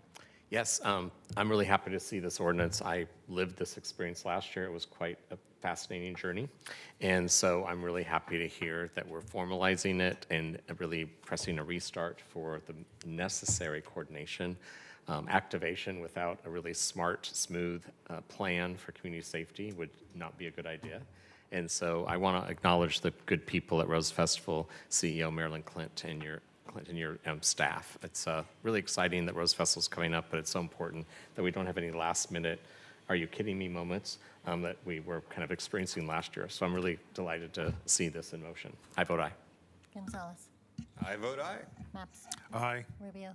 I want to thank um, uh, Commissioner Gonzalez, um, in particular Grace, for her work with our office and for working with Prosper Portland to make sure that um, we have all the right people at the table and happy to support this. I vote aye. Wheeler? Awesome work. I vote aye. The ordinance is adopted. Next, and truly the last item, is also a four-fifths agenda item. Item 393-2, ratified letter of agreement with the Portland Firefighters Association, International Association of Firefighters, Local 43, to settle an unfair labor practice complaint. Colleagues, this should be a relatively quick item. This is a resolution of an old unfair labor practice complaint. It involves a team at the Fire Bureau that was eliminated during budget cuts as Multnomah County provides a related service. With this ordinance, the ULP will be resolved. I'll now turn it over to Kim Fouts from Labor Relations. Hi, Kim. Hi, I hope you all can hear me. I'm having some troubles with my camera. No, you sound, you sound great. We can hear you. Perfect, great. Thank you so much, Mayor and Commissioners. It's really great to see you this afternoon and present this letter of agreement for your consideration and approval. The Portland Fire and Rescue had a dive team that received a premium pay for members of that team. The team, dive team was disbanded through the budget process for the fiscal year 2017 and 2018 and currently remains disbanded. The PFFA filed a ULP in 2017 for failing to bargain the impacts of that decision. The matter was not heard by the Employment Relations Board until October of 2021. The ERB at that time agreed with PFFA that the city should have bargained the impacts of cutting the dive team and ordered the city and PFFA to bargain those impacts of the decision to eliminate the team. The parties met and agreed to limit the economic liability to a 12-month period reflecting the premium and the overtime opportunities lost. The parties agreed to a finite amount of $91,431.08, representing the lost overtime opportunities for the firefighters on the dive team at the time of its elimination. Thank you. Thank you. Appreciate it. Any questions on this, colleagues? Any public uh, testimony? No one signed up. Can't believe I forgot that word. Very good. Please call the roll. Ryan? Aye. Gonzalez? Aye. Mapps? Aye. Rubio? Aye. Wheeler? Thank you all for resolving this. This, this has been a long time coming, and I'm glad to see it amicably resolved and no longer before us. I vote aye. The ordinance is adopted, and we are adjourned until 2 PM.